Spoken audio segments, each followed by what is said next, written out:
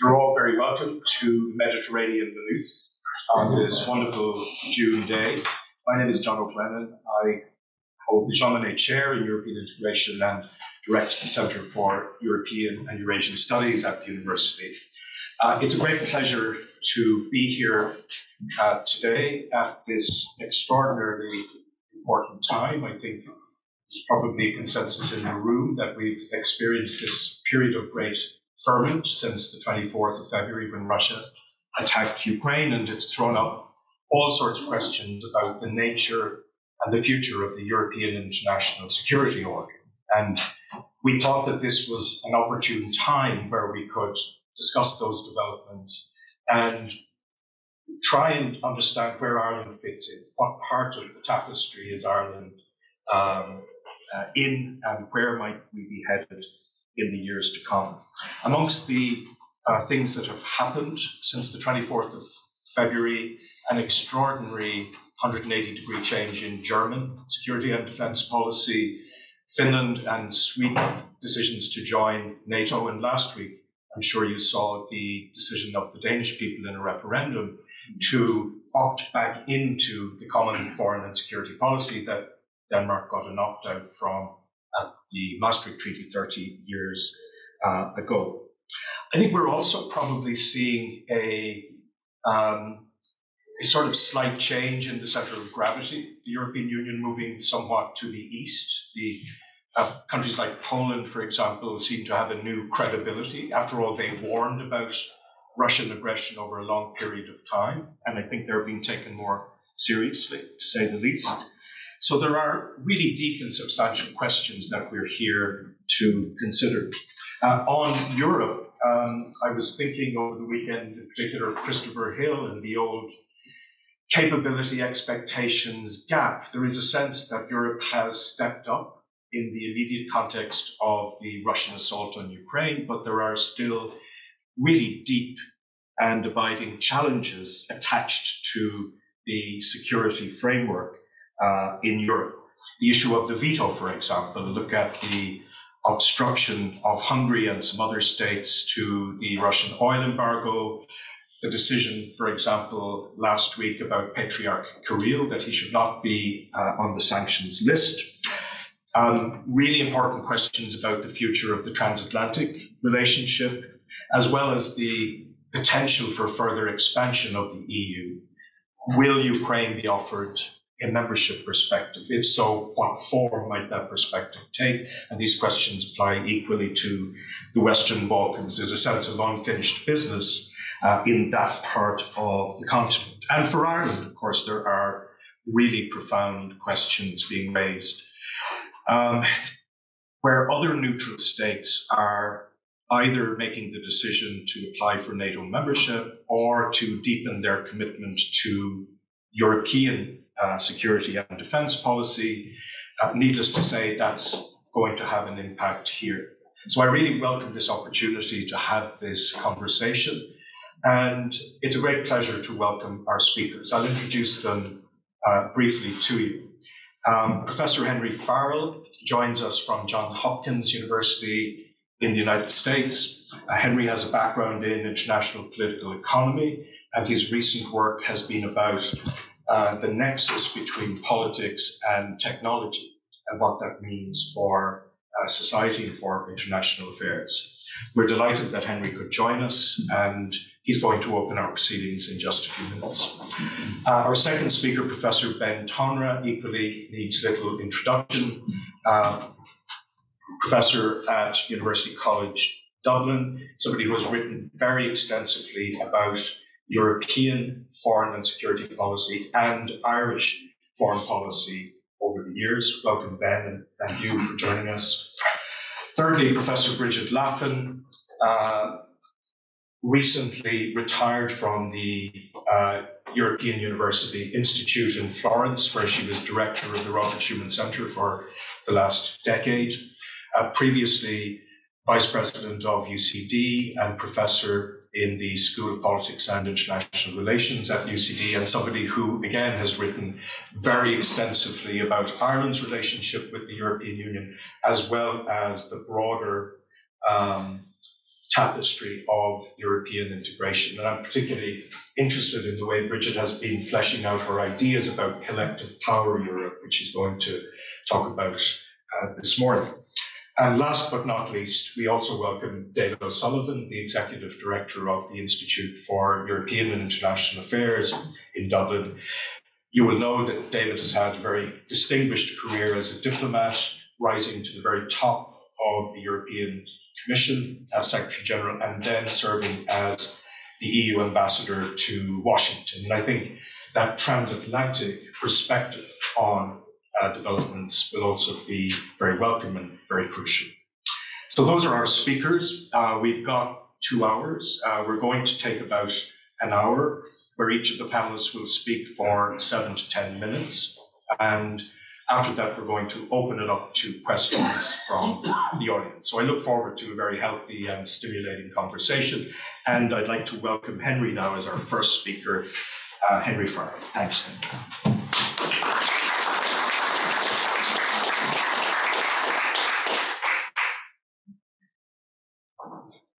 Okay, so thank you very much. I can't say how happy I am to be back in Ireland uh, giving this talk and with such a wonderful group of people. And I have to in particular single out Brigid here as somebody who um, sort of uh, grew me as an undergraduate. And uh, you know, I'm not quite sure uh, whether she wants to be blamed for the results, but it is just an extraordinary feeling to be on a panel with her uh, a couple of decades later. So what we've been asked to talk about is Ireland's place in the changing security landscape. And I want to give you a somewhat different account of that than perhaps I think the other speakers are going to do, because I want to focus on a different understanding of what that landscape is. As John said, you know, so when we think about Ireland's situation at the moment, we uh, we focus uh, immediately and not uh, not you know sort of, uh, not wrongly on the physical situation of Ireland, the uh, physical security questions that come from being an Ireland island on the western seaboard of, the, of, of, Europe. And in particular, we start to think about the questions of what happens after Russia's invasion of Ukraine. Do we want to start thinking about Irish neutrality in a different way going forward?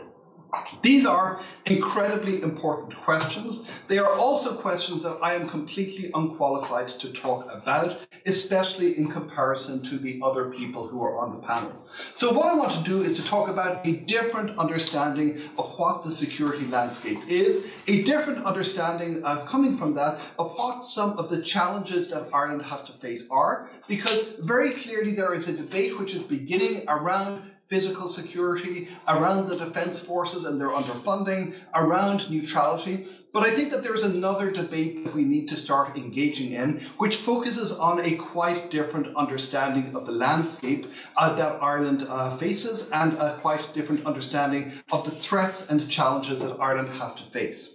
So if we're to look at this landscape, I think it's useful to go quickly through a few of the important landmarks on it. So first of all, here this is Amazon Web Services, uh, South Dublin uh, server farm. This here is Intel's uh, fab in Leixlip, County Kildare for producing semiconductors. And this is the International Financial Services Centre uh, in the heart of Dublin. Now, when we think about these, we tend to think about these in purely economic terms. We tend to think of, of, these as part of Ireland's growth story, its economic growth story over the last few decades, how it is that Ireland, as a small economy, has been able to embrace globalization and has been able to do extremely well from it. But in fact, uh, th this is all true, but equally, these are parts of globalized networks. Uh, if you think about the uh, way, for example, that the uh, that that that the the um, uh, Amazon Web Services is an essential part of the internet. If you look at the uh, Leixlip, uh, uh, Leixlip manufacturing plant, that is part of global semiconductor uh, supply chains and value chains. If you look at the IFSC, that is part of this network of global financial flows. All of these networks are part of the globalized economy that we live in. And this is the important uh, point that I want to make. This globalized economy and the networks that it forms, these are their own security landscape. We have thought about these for decades in terms purely of their economic benefits. They are increasingly being seen as security questions, security problems, and security risks. And to the extent that is happening, this has important consequences for Ireland going forward because Ireland is quite exposed on many of these uh, dimensions, and Ireland's position is going to have to change, I think, in order to reflect the changes that is happening in this landscape as issues and questions that we have thought about exclusively in economic terms turn out to, in fact, have a crucial security dimension too. So this is in a sense not the world we were promised. And this is one of the reasons why I think Ireland and other countries have had some difficulty in starting to think strategically about this new world that is emerging because it doesn't fit into the concepts that we have uh, been using up to date. And here the American uh, writer Thomas Friedman, I think has been particularly uh, persuasive in creating a kind of a vision of the world which really dominated our understanding for 30 odd years. So back in 1999, he writes this article, which uh, then feeds into his book, The World is Flat, which of course has huge influence not just on business but on policymakers, where he says that in the wake of the Cold War, a decade after the Cold War is over, we are moving from the world of the uh, wall to the world of the web.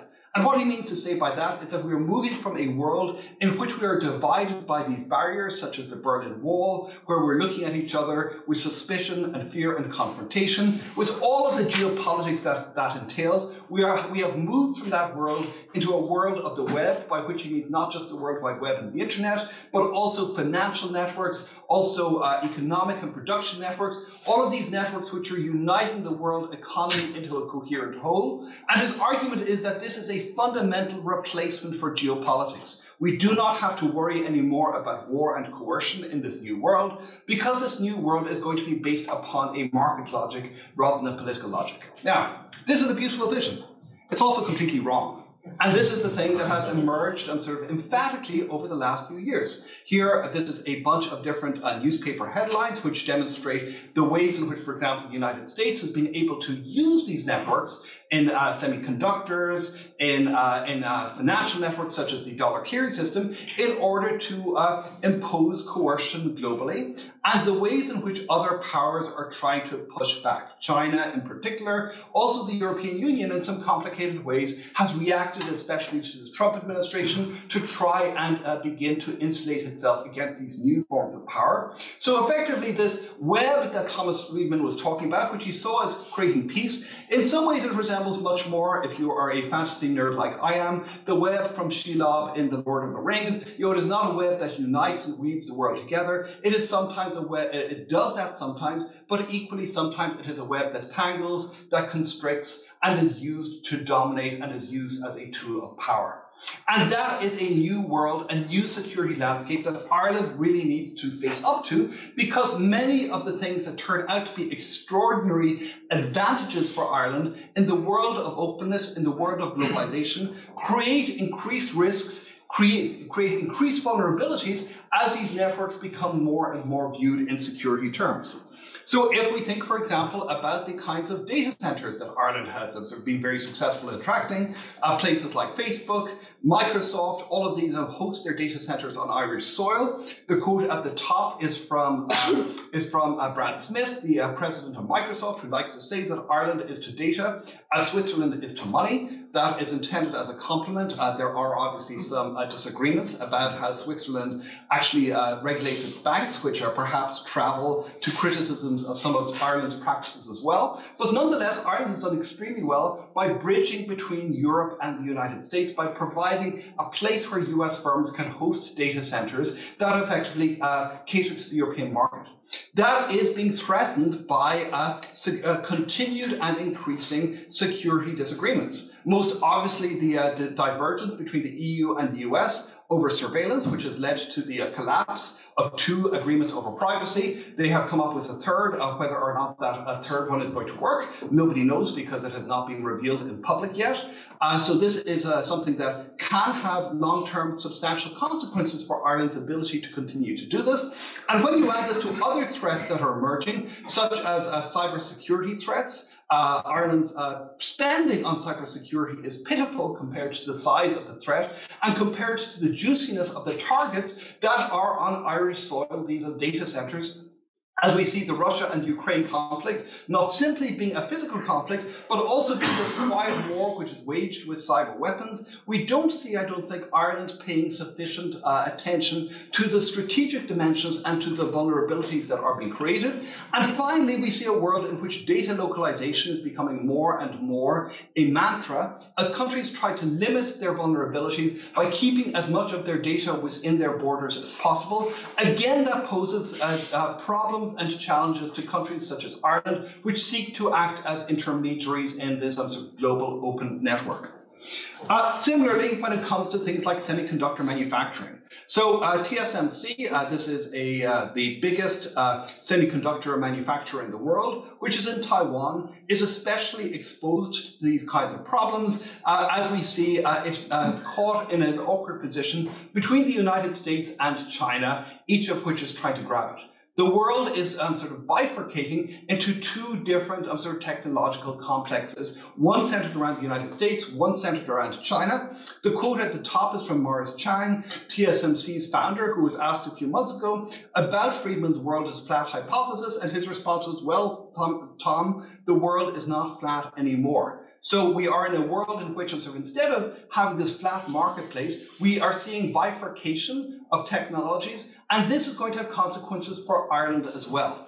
Uh, presumably, if Ireland is faced with the choice of uh, being closer to China or the US, it would prefer the United States, but that is going to come with a lot of added uh, questions as the US, sort of, it is pushing for a friend-shoring model, which sort of would have uh, various forms of production located on Allied territory, but with a lot of expectations about information sharing and security cooperation going together with that. So one interesting question that I think uh, we ask about Irish neutrality is, to what extent does neutrality, um, Irish neutrality travel into these questions about technology. And if technology is becoming increasingly a realm of security, uh, does this then mean that sort of Irish military neutrality becomes less and less relevant to the places where Ireland is actually um, sort of engaged in real and complex security questions? Finally, we look at uh, financial services. And here we all know the debates and the arguments that are happening around Ireland's sort of taxation regime. But I think what is less appreciated is that as we move into a world of greater security risks, greater security questions, further questions are going to be asked about this. If we look at the special purpose vehicles which are used by businesses to uh, host their profits and sort of uh, in Ireland's uh, low taxation regime, these uh, vehicles by design are extremely non-transparent. That becomes a problematic security risk when they're used by Russian oligarchs or others to conceal the sources of their wealth. The extent to which this uh, non-transparency can be uh, retained is open, and more subtly, a lot of the uh, a lot of the relocation of, uh, of profits to Ireland depends upon creative accounting with respect to intellectual property, where intellectual property is located, as intellectual property is becoming weaponized by various governments, including especially the United States, as a means of excluding Chinese firms like Huawei from access to uh, semiconductors, which are being built using uh, US IP, the, I think the, the uh, scope for these um, corporate strategies is going to become greatly limited, again posing some serious questions for Ireland's model going forward. So I have um, sort of a variety of different suggestions here, which I'm going to pass over quickly. The bottom line is that Ireland has for a long time, it has based its economic strategy on an assumption that we are living in an open globalized world where globalized networks have no great security assumptions are no, no great security consequences. That assumption is turning out to be wrong. And to the extent that it is wrong, Ireland is going to have to not just deal with the traditional military security questions, it is also going to have to confront the ways in which its economic growth model and security, uh, security model are increasingly going to become intertangled with each other and to some degree indistinguishable from each other. That's going to pose a huge set of questions. I uh, worry sometimes that Ireland, I think that the uh, capacity for uh, thinking through deep foreign policy questions and sort of in Ireland is not as well developed as it might be, that there is less contact between academia, think tanks, and sort of people in the Department of Foreign Affairs and elsewhere than there might be. And I really worry uh, that uh, uh, that Ireland needs to have some very substantial rethinking very quickly across a wide variety of dimensions in order to understand how best to confront this new shifting security landscape, which is really, I think, going to have some very, very consequential, uh, very consequential effects over the coming decade. Thank you. And I should also say this is uh, this is all based on work with a co-author uh, who uh, takes should take no responsibility for any mistakes or idiocies I have uttered, but should get all the credit for anything I said that is good. Thank you.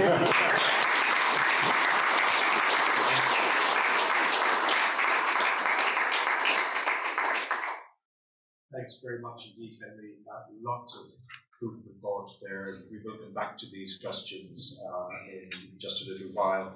Uh, I should have said at the outset uh, an apology from Finnish ambassador to Ireland.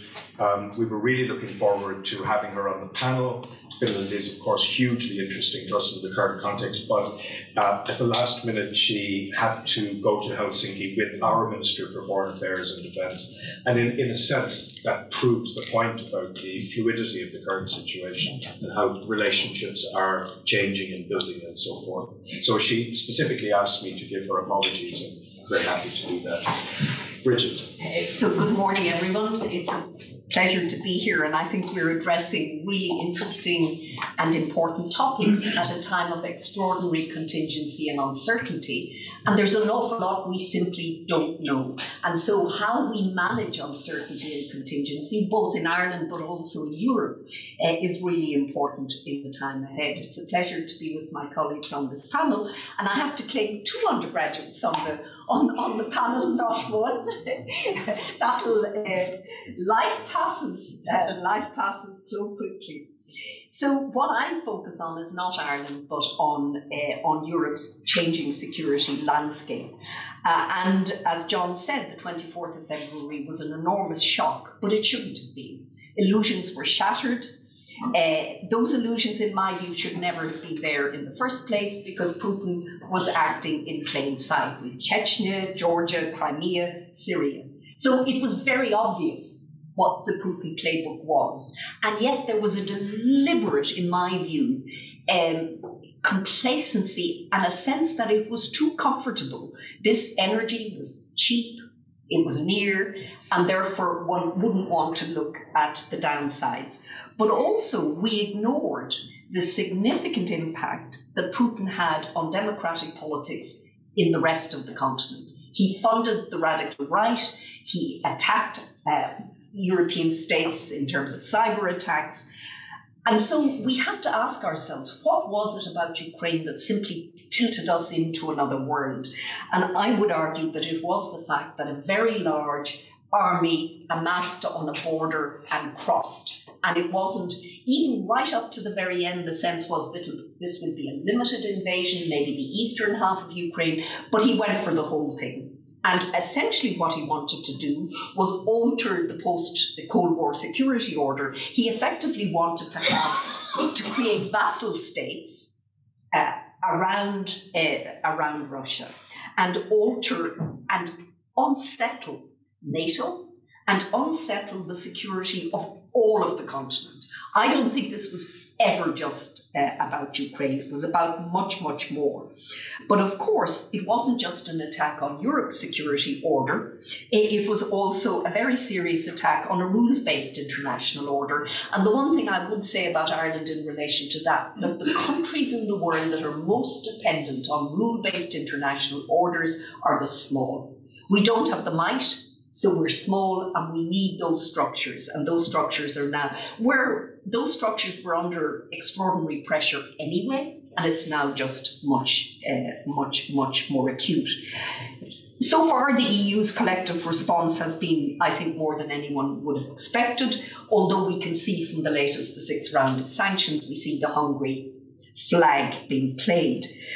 We've also seen uh, significant change in member states and a reinforcement of NATO and the transatlantic alliance and NATO EU cooperation. And I think there's a major issue, not just for Ireland here, but also for the EU, and that is what price will Washington want for the reinvigoration of the transatlantic alliance? what will that what will the payback be? Because there is always for Europe cooperation with the US, but also competition with the US. And so, what is the in this world of great power competition, which Henry uh, spoke about, where where does the relationship between U- US hegemony and European needs lie? And I think that's a very big and uncertain debate. And of course, the future of the transatlantic alliance is entirely contingent on who uh, on who who becomes president of the United States in the future, because Europe may find itself having to take much more responsibility for its security and defence than it is prepared for or would want. So again, I think there's. Um, I would also say that all of the issues on the table today energy security, uh, defence, the vulnerabilities they were, they've been there, they've been on the table, they've been on the agenda for a very long time. But I think what's happened now is the choices are sharper, they're more compelling, and they're much more urgent. And that's where the shift is. Europe was talking about energy vulnerability for a very long time, and there was real concern when the Germans gave the uh, the permit for the construction of Nord Stream in German in German uh, in the Ger- German waters as late as January 80. This is how, you know, this is how blind and will, willfully blind we were.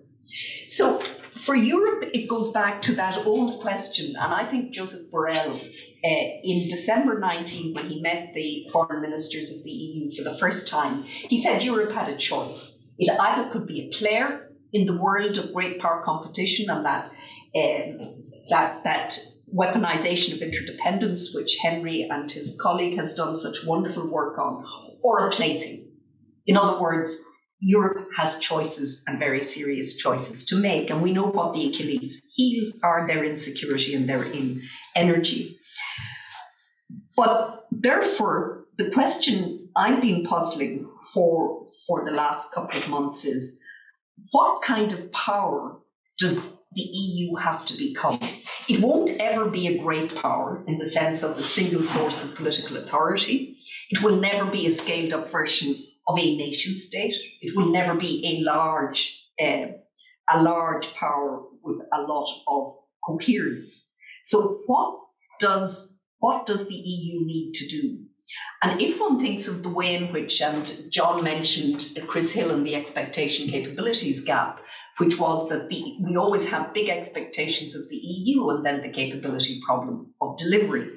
But there's also, I think, in the literature, and I'm not an IR specialist, that's not, uh, that's not my training, but I'm, when I look at the literature on the EU as a foreign policy actor or the EU as a global actor, then I'm struck by there's a literature on the EU in terms of market power, the, the economy, the Brussels effect, the way in which the EU can uh, externalize regulation, but also the magnetic attraction of that very large and wealthy and prosperous single market, so market power.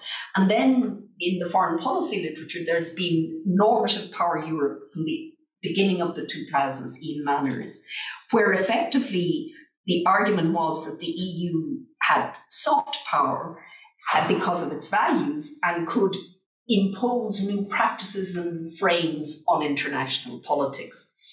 And I just don't think that's enough for the world we live in today. That it's neither reflects the world we live in today, nor will equip Europe to be a player as opposed to a plaything. And so I think when we I would argue that in looking at the EU through the decade of crisis, but particularly from Brexit on, what we see is a, a more capable EU emerging and that more capable EU concentrates on the power to rather than command power. And that's the power to establish collective goals, to generate institutional capacity, policy capacity, and to translate that into action. And that remains a challenge for the EU. The EU is always good at talking the talk and less good at walking the walk and taking the. Um, but there is there is certainly a desire, but also evidence that the EU understands that the world uh, we live in a world of great of hard geopolitics and great power competition. The uh, strategic compass that Ben perhaps will talk about, is an attempt at least to analyse Europe's strategic threats. Uh, and but again, in terms of actual actions, it's it, the document is is not so strong. But why do I argue that we've seen a shift in the EU since Brexit? So I would say that the EU's response to Brexit, the pandemic, and Ukraine has been qualitatively different to its response to the Eurozone and to the migration crisis.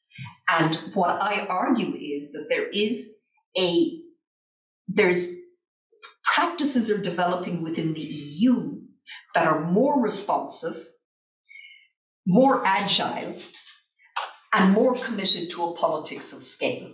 Now, the EU is very uneven in that, but at least there is evidence that the EU is responding with greater speed uh, and is prepared to look at the toolkit.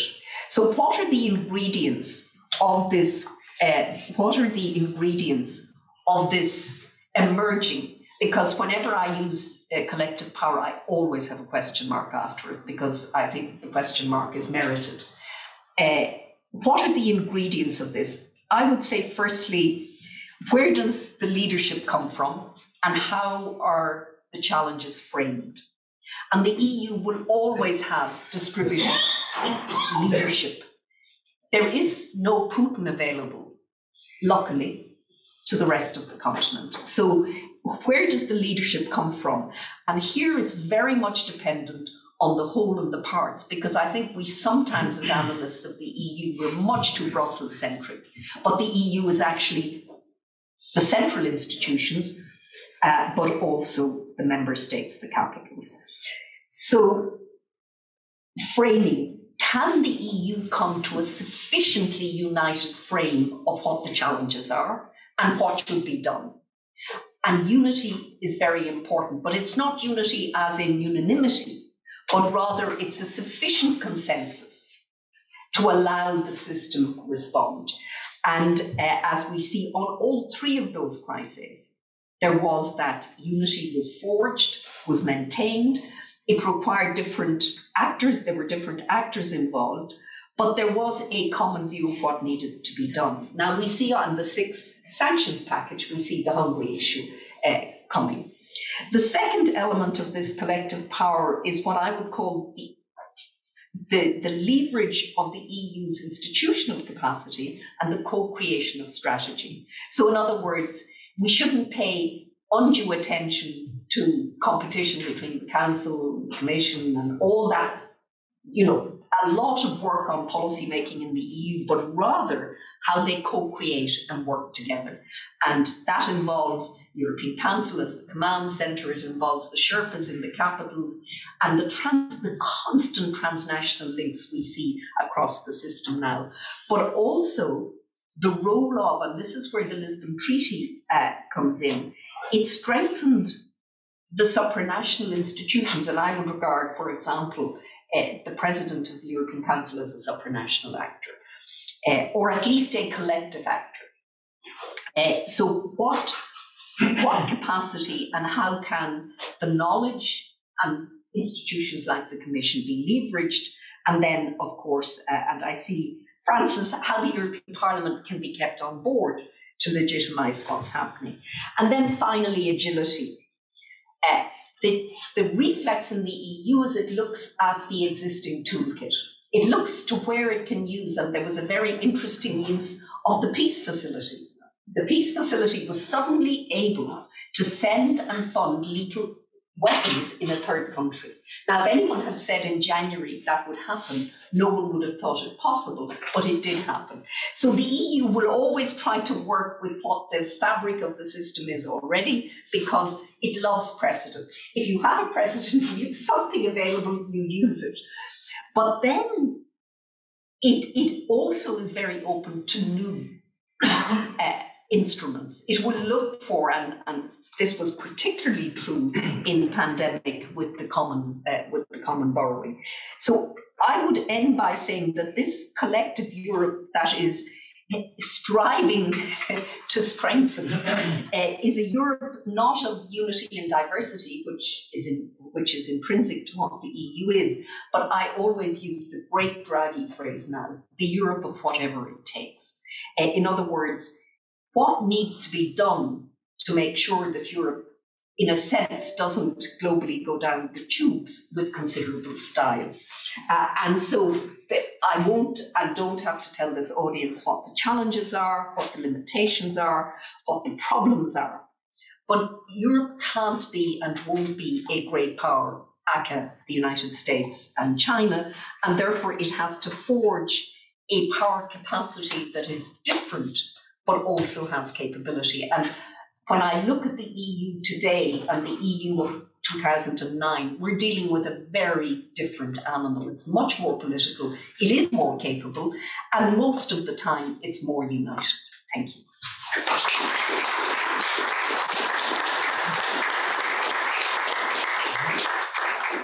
Thanks very much, um, it was about 40 minutes before we mentioned the B word, Brexit. I think that's progress. Why I didn't exist a year ago, two years ago, it would have been a very different thing. Um, delighted now to welcome Ben and his contribution on Europe and Ireland. Thanks very much, Don. Thanks for the invitation. And uh, as uh, Brigid's second undergraduate, I'm delighted, delighted to offer uh, my own sort of response to, to Henry's fascinating presentation um, and to come at this from sort of an IR security frame and, and also perhaps to extrapolate uh, from some of his comments relating to, to specifically to Irish foreign policy.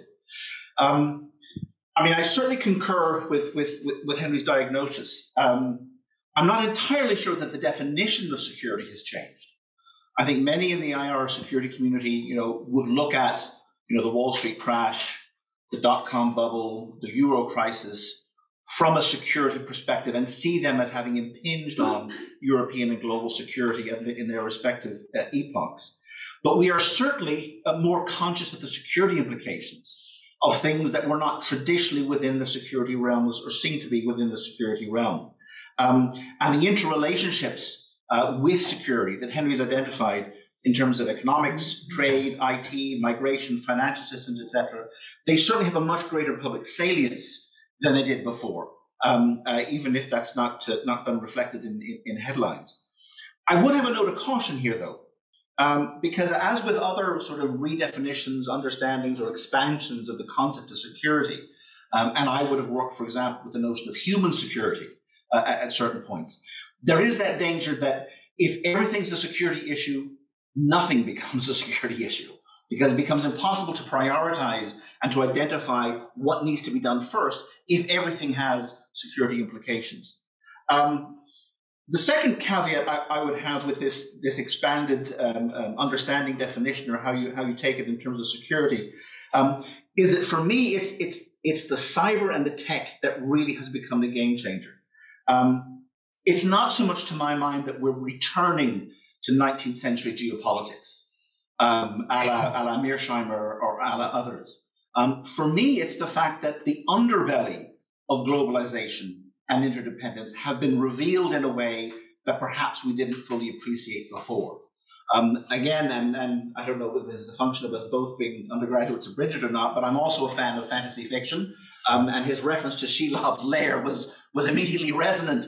But that but that notion of the underside of globalization, the vulnerabilities that interdependence we knew always assumed, but weren't actually made clear or weren't made sort of practically relevant. I think that really is a is a game changer. Um, and I think Henry is also right to identify that, that Ireland has been the poster child of globalization, has reaped huge rewards from globalization.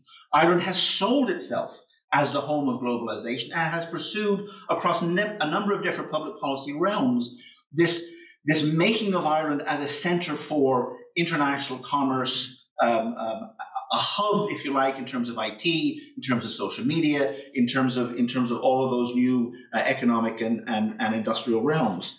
Um, but within that, there's a, something of a contradiction. Now, I know it's something of a truism to say that you know small states have to rely on the on the on the on the force of law because they can't rely on the law of force. So small states have to be dedicated to multilateralism, the international system, uh, and legal certainty. But here's a provocation, and here's something of an extrapolation from what Henry was saying. Is it a case, perhaps, that just as Ireland has been a free rider in terms of defense, Ireland has also been something of a free rider in terms of multilateralism? Ireland has talked the talk about multilateralism and commitment to the multilateral system, but has it walked the walk? Because as Henry has identified, if you look at a number of key areas, such as taxation, such as IT, such as migration, um, Ireland plays a very interesting game in terms of talking about multilateral commitment, but playing the margins, playing the middle off the center, looking for that exceptional deal, trying to define Ireland in a way that, that escapes the rigors of, you know, a new OECD tax agreement or new um, uh, regulations on social media companies headquartered in Ireland. So it's, it's a question as to whether or not free riding is actually a pattern in terms of Irish foreign security and defence policy. Um, you know, you remember the, the IFSC being described as the Wild West of European finance. Uh, we know, as I say again, you know, the issues in terms of Ireland's perceived to be, you know, we can talk to the Data Protection Commission about this, Ireland's perceived to be weakness in terms of its regulation of the big of the big media companies, and of course we have the issues, obviously, of, of, of taxation. Um, now, Henry went on then to identify sort of you know where the international system may be going and some of the challenges uh, that, that, that we face as a result of that. There are a couple that I'd I'd add, to, add into the mix or maybe expand on. First of all, Henry identifies upcoming and, and current transatlantic battles um, in which Ireland will have to, to box clever. Um, and it has to box clever because, oddly, I would see Ireland as trying to force sort of a, a, a, an Anglo Saxon socioeconomic peg into a Rhineland political model. And there's a curious contradiction there again in terms of Ireland's commitment to multilateralism as opposed to what Ireland practices in terms of its international commitments and, and, and international contributions. And the other challenge is that transatlantic piece that, that Brigid has mentioned. You know, we have been absolutely blessed to have a confirmed Atlanticist in the White House. It might not have been thus. Had it not been thus, what might we be facing today? Might it not be thus in 31, 32 months' time? And there, in terms of the tensions that Henry's identified, sort of the polite tensions in terms of you know, China, in terms of IT regulation, etc., those polite transatlantic tensions could become very brutal very quickly. And Ireland will not be in a position to carve out a via media in that kind of acute transatlantic rift, nor will it be able to sell itself as a bridge so the question that Irish policymakers were going to have to ask themselves is, you know, how tightly does Ireland cleave to what Brigid and other writings has described as, you know, the anchorage of its European commitment? And how will that fare with, as I say, the kind of exceptionalism, the kind of, you know, picking at the margins that Ireland has done across a number of salient public policy issues? Um, and this brings me back to my own bailiwick of, of hard security, defense, and, and military capacity as a conclusion. You know, territorial defense, which now encompasses the cyber, because you are, you are defending territory when you're defending yourself through cyber, that really has come back front and center in European defense planning. Ireland, as I said earlier, has been a free rider in terms of territorial defense. And as I say, as something for provocation, perhaps Ireland has also been a free rider in other aspects of security that Henry identified earlier. But nobody's going to beat down Ireland's door demanding that Ireland join a common defence, or even that Ireland commit to deeper coordination and commitment on defence. Every member state has its idiosyncrasies, every member state has its lacunae. Ireland and defence and security is well understood, well recognised, as I say. Nobody's going to insist that we do anything in terms of security defence.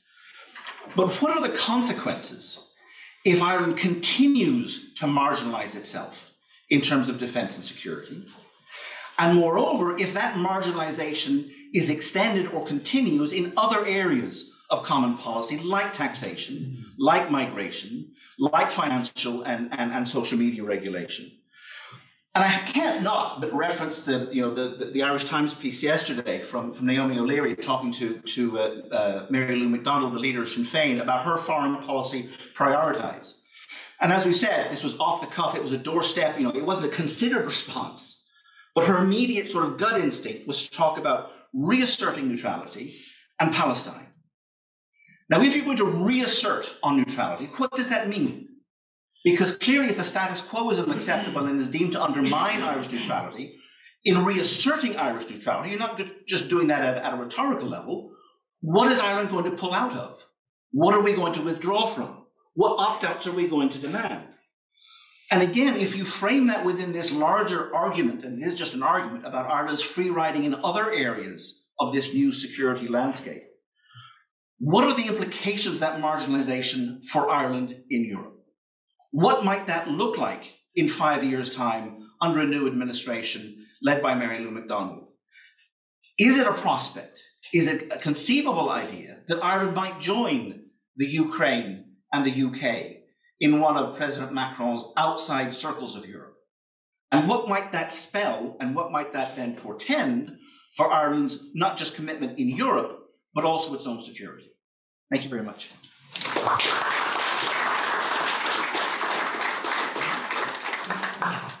you very much indeed. And, and our final speaker, uh, David O'Sullivan, uh, really nobody is better placed to talk about the transatlantic relationship in particular uh, than David. Thanks very much. David. Well, thank you very much, John. Thank you, everyone. Thank you to the previous speakers. Um, uh, nearly everything has been said, but not yet by everyone.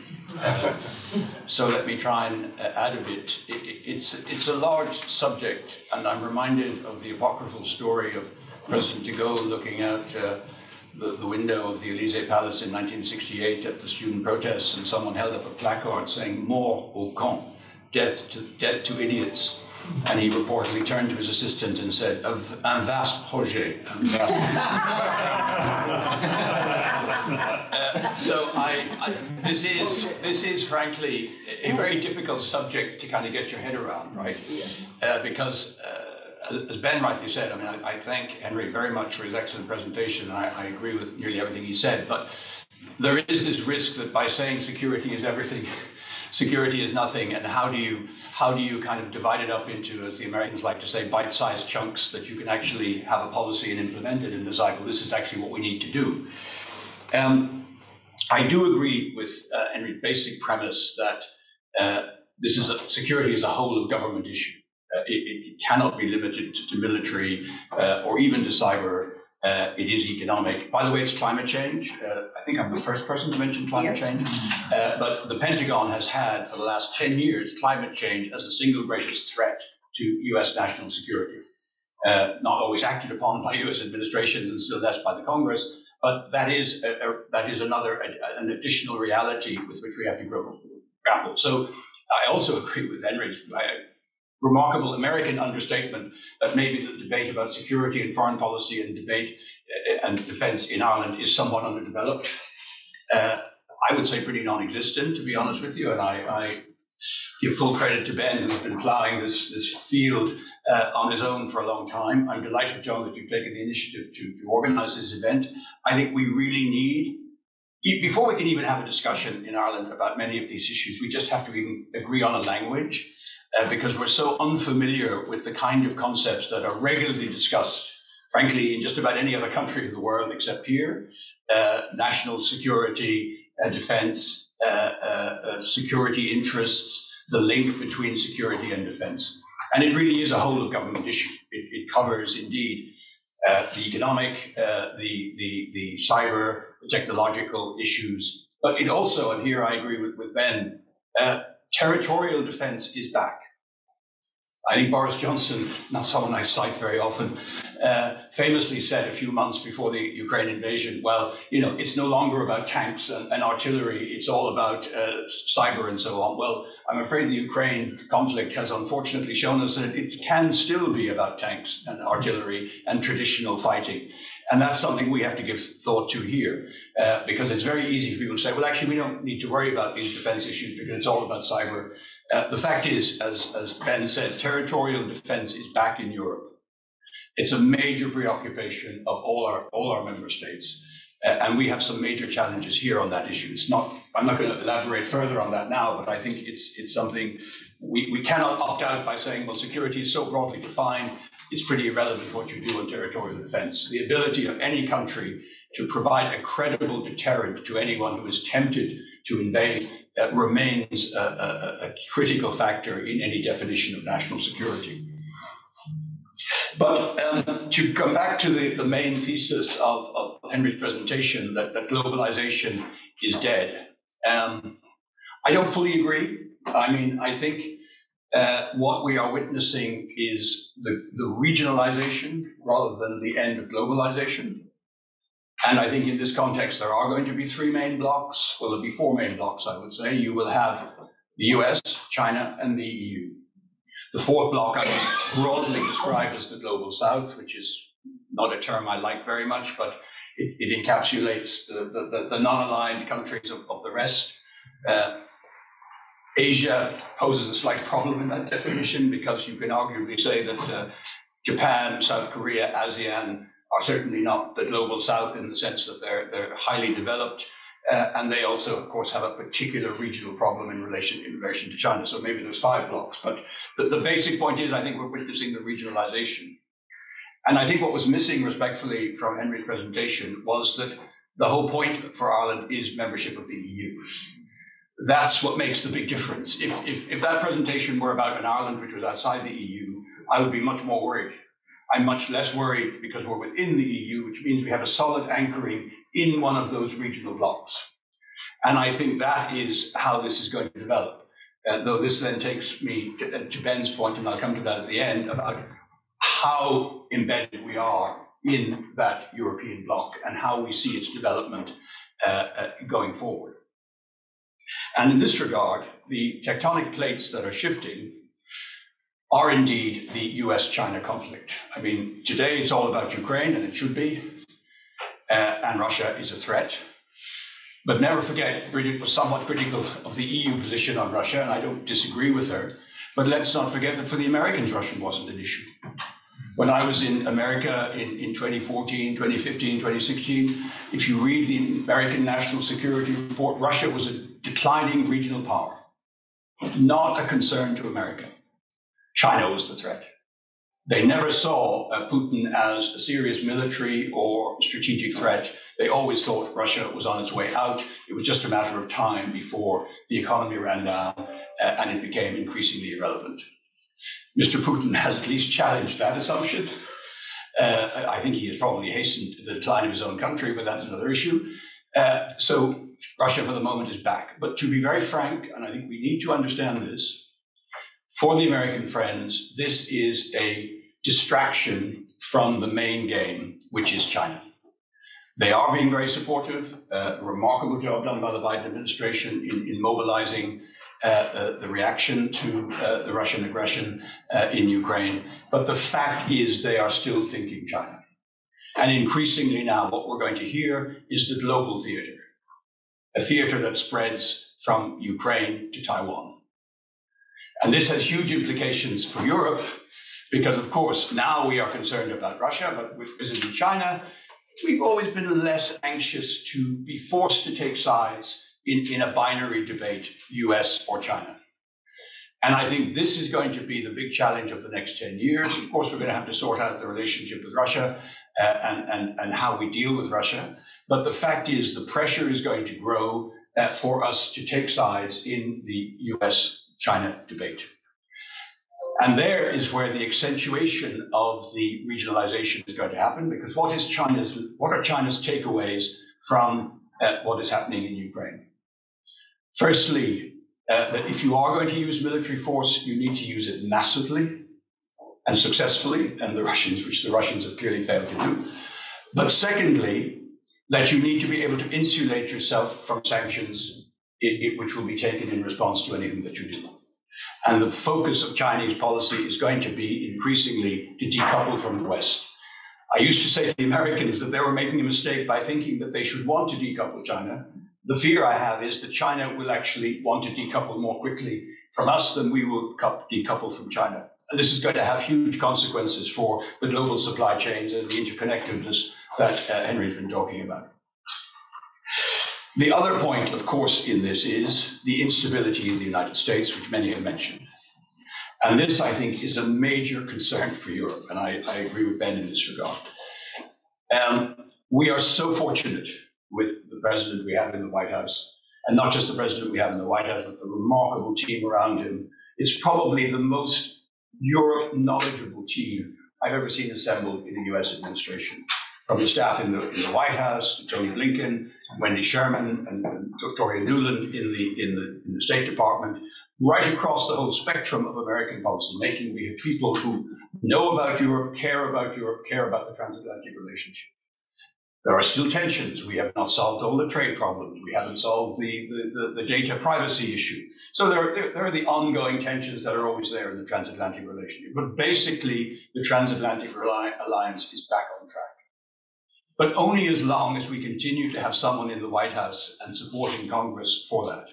And the risk is high that that will change in 2024. Indeed, it will probably change, begin to change uh, with the midterm elections, where the predictions are that quite likely uh, this, the, the Democrats will lose the House, may even lose the Senate, which is going to create a very difficult second term, second two years for, for, for Joe Biden. But the more important issue, of course, the, the presidential election in 2024. What happens if we have a return to a Trump like, either Trump himself or a Trump like president? This is going to pose a huge challenge for Europe. And there I agree with, with Brigid's definition we only have a short time in which to reinvent ourselves as some form of, of international power which is not, which has no international, which has no precedent. We're not going to be a sovereign state, we're not a nation state, we're not going to be a fully federalized state. But if we want to be a global actor that is credible and that helps shape the world around us and not just be the not just be the, the, the victim of a world shaped by others, then we have to find new ways of acting together. And that is, that is going to be very challenging for all the reasons that those of us who work on Europe know, know so well. For Ireland, uh, I, I, think the issue really is, as Ben described it at the end, we're going to have to make some choices. We, we have managed to straddle this bit of Boston and Berlin quite skillfully. And, and by the way, it was the right thing to do in the circumstances. It was a sensible thing to do. But I'm not sure that that option of straddling that divide uh, in the way that we have in the past is going to continue to be available to us. And in our discussions about our security, and I'd love to see us actually have a national security policy, uh, which most countries have, it would be a very interesting exercise to actually try and write down what our security interests are. And I think any analysis is going to show that ultimately our security strength is the relationship with the EU. It is the only um, support that we have against this uh, much less well organized global order that we are heading into compared to what we have known uh, in, in the 60s, 70s, 80s, and 90s, where we had the strength of the international organizations. I know we're very attached to the United Nations. I'm personally very attached to the United Nations, but let's face it, as long as you have a veto of China and Russia in the Security Council, the United Nations is not going to be able to be a major actor in this new world in, in which we're in which we're evolving. And therefore, the relationship with the EU becomes crucial. And I think we need to look at that across the whole spectrum of policies, as Ben has said, uh, and make sure that we are a proactive member of this European Union and that we actually take the initiative. We need to move away, particularly on the security and defense side, to feel that somehow we're, we're being pressured. Unfortunately, we're not being pressured, by the way. We are largely irrelevant to the calculus in, in the bigger picture. The issue is for ourselves. What do we want when we, as, as, as, as a moral position, uh, but also as a self interested position? I very well remember being in the European Parliament in the mid 80s, uh, a meeting of the EPP group and Chancellor Kohl. And the Chancellor was you know, doing his usual, very studied, he was not a great rhetorical figure, but he was very measured. And Joe McCartin, who was then a, a, an MEP, said to him, you know, what do you think about Irish neutrality? And the Chancellor looked at him and said, he said, I don't really care. He said, you're too small. You're not relevant to the military equation. He said, but if I was Irish, I would ask myself a moral question. Why do the children of Germans have to join an army and be willing to die if there is a conflict in Europe? And people in Ireland would feel that somehow they had no they had no role to play in that. He said, "That's the question I think you should be asking yourselves." That was a dramatic moment, but I think I think I think it is not so much this heavy moral thing, but I do think there is a question we have to ask ourselves: Where does our future lie? Uh, in this changing world. And to me, it is deeply embedded in a European Union that functions and is capable of protecting the values we hold dearly, whether that's democracy, human rights, freedom of expression, uh, a commitment to conflict resolution, or even to not promoting conflict except when it's except when it becomes absolutely necessary to defend yourself. I think those are the values of Europe, and I think they are largely the values that we share. And the question is, how do we find a place for ourselves, a fully active place for ourselves in defending those values, including if needed, uh, through some military means. And I think that's the challenge which the debate in this country is going to have to face over the next few years. It's going to be a debate in many countries. We're not the only ones who face some challenges. but I hope that events such as this and future events will enable us to have a national conversation about this because I think it's a, a critically important issue. Thank you.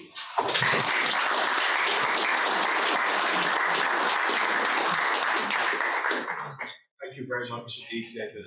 Um, taking up your suggestion, um, I would say that given we've about 40 minutes left, it might be better to uh, go to questions and answers immediately. So I'll take questions from the floor.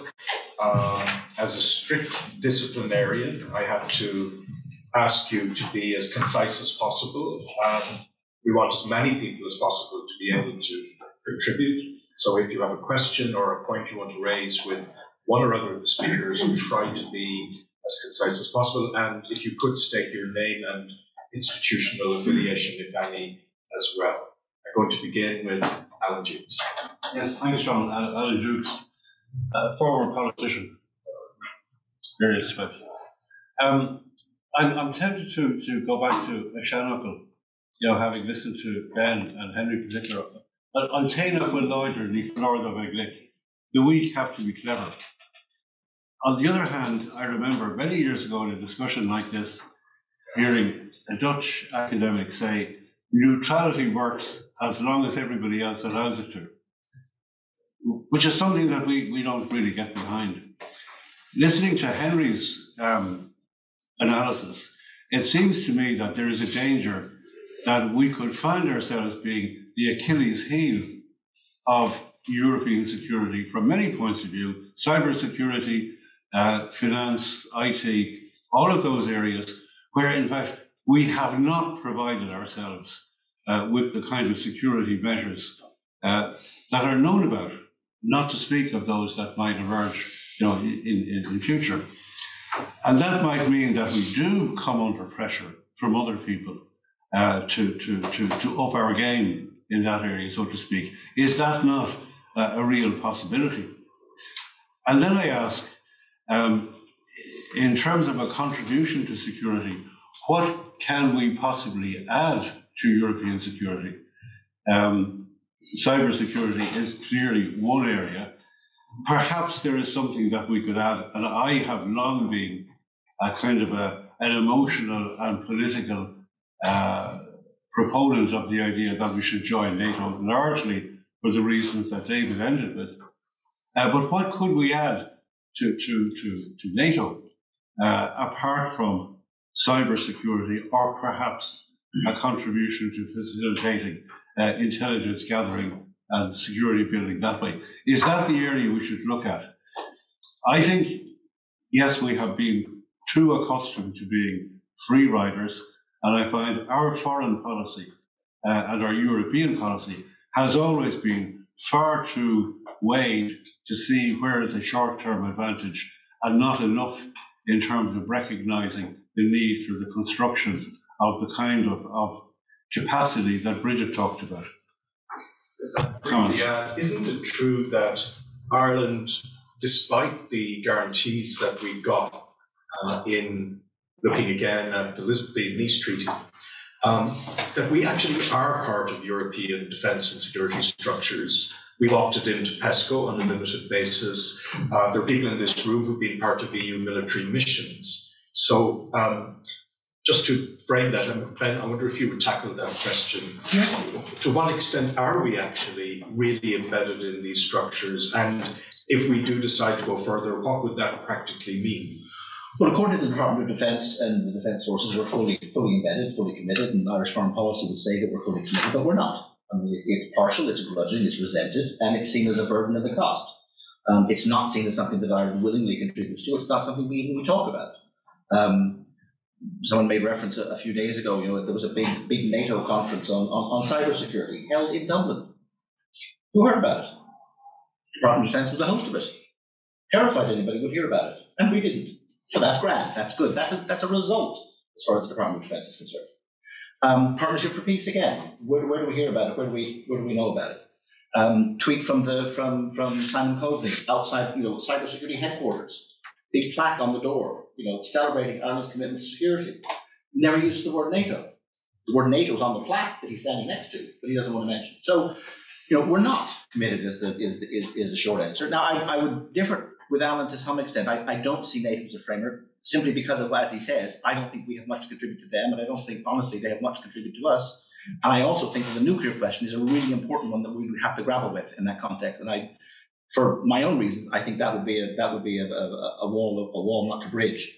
Um, but the European framework is there to be built. The European framework of a common defence, you know, you know, there are maps that we could begin to contribute to, to mold, to shape, to suit Irish interests, as opposed to jumping into jumping into NATO. And it's and it's a it's an opportunity that we're that we're missing. Um, Brigid very handily gave me a translation of the of the Irish phrase you gave about about clever.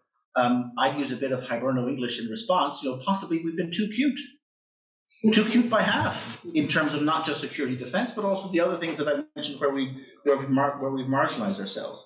Um, so you know, and, and Ireland has been that vulnerability. Um, you know, these, there were major European mistakes that led to the euro crisis. But Ireland was one of those through which that crisis extrapolated, accelerated, and threatened to bring the entire system down. We were part of the problem. We were the Achilles, one of the Achilles heels, amongst others, that nearly brought the system crashing down.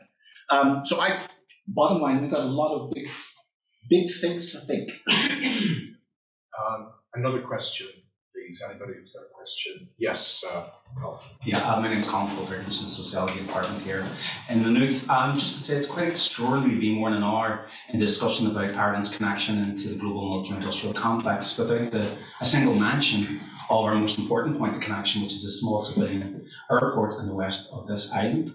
Um, it's quite remarkable that uh, nobody has mentioned that in the last 20 years, more than 2 million passages of American troops through Shannon Airport. It, it, has been said by the last speaker that Ireland has no strategic importance. Why then is it the major conduit of American troops passing through to various theatres of war in the Middle East for the pursuit of illegal war, such as the invasion of Iraq? Another thing which is really astonishing is to hear references to rule-based systems of war as if these rules existed until the 24th of February. Um, the principal country that broke those rules and broke them most spectacularly and most critically was, of course, the United States and its invasion of Iraq almost 20 years ago.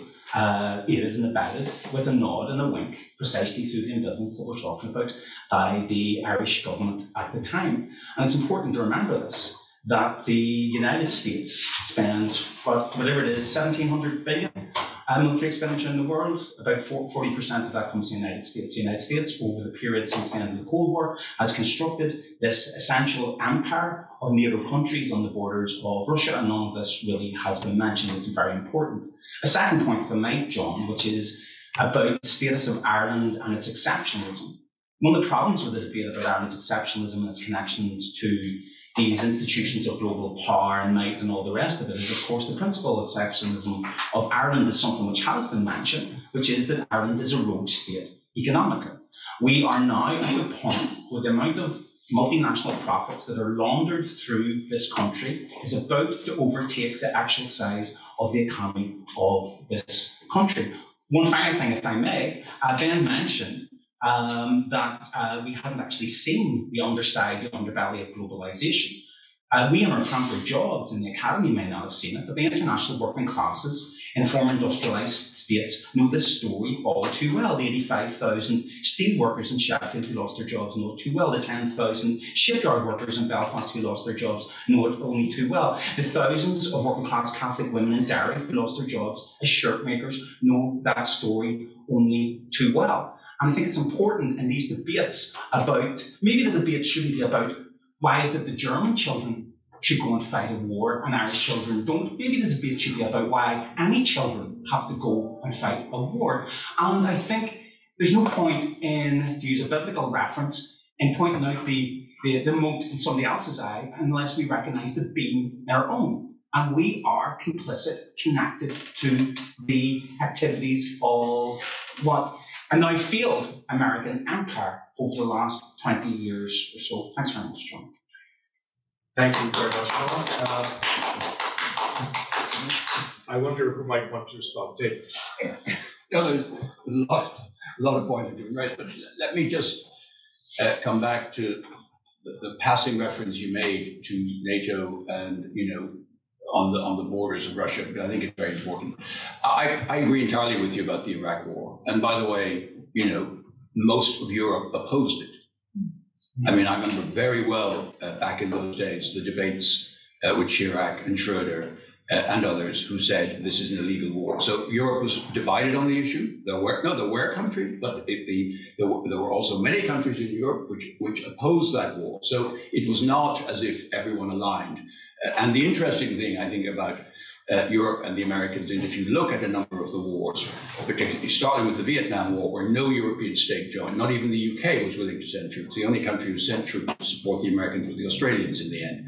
So America has, in my view, made some major mistakes. I think the invasion of Iraq, of Iraq was a catastrophe. And as I say, many in Europe opposed it. We were not united in our opposition. But to come back to NATO, and I think this is very important, there has been no aggression shown by any country in Europe. No aggressive uh, behavior except by Russia. I mean, we really need to nail this because if you want to say to me that somehow Russia is threatened, I'd like to know by whom. And the only reason why NATO expanded was because the countries formerly involved in the Soviet bloc felt threatened by Russia. And unfortunately, Mr. Putin on the 24th of February has shown them to be right. That this is a defensive alliance which offers no aggression, has never offered aggression. But Kosovo, Libya. Sorry, Kosovo was was there were situations where people intervened in order to try and stop a war. It was not to. It's it was not not to. It's. Uh, But it was could- to stop it it. was- it was- it was- it was in- Stop it. it was in response to a conflict situation, and it was an effort to stop genocide.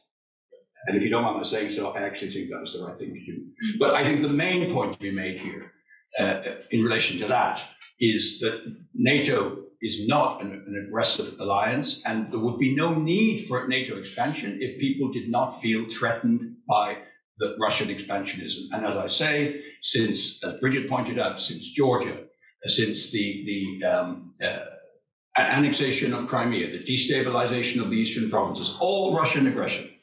Russia is the only country that has annexed, has broken the Helsinki agreements and annexed by force a, a, a- a part of a sovereign neighboring country. That's the reality of the situation in which we find ourselves today. And I, I think really we have to look very sober, soberly at this and understand that for our Baltic states, for Poland, uh, for, for all the countries who border with, with Russia, this is a very, very scary moment because each one of them is asking, when could I be next? And so I'm sorry, that is the reality that we face in Europe And it's today. not reality. We, we, can, we, we cannot, NATO we is cannot engaged in wars of aggression. Well, can I, can I, So can Brigid and Henry then. So can I just, uh, NATO is not an empire. It's a mutual defence pact that countries voluntarily join. You can laugh, but that's the legal and that's the legal position.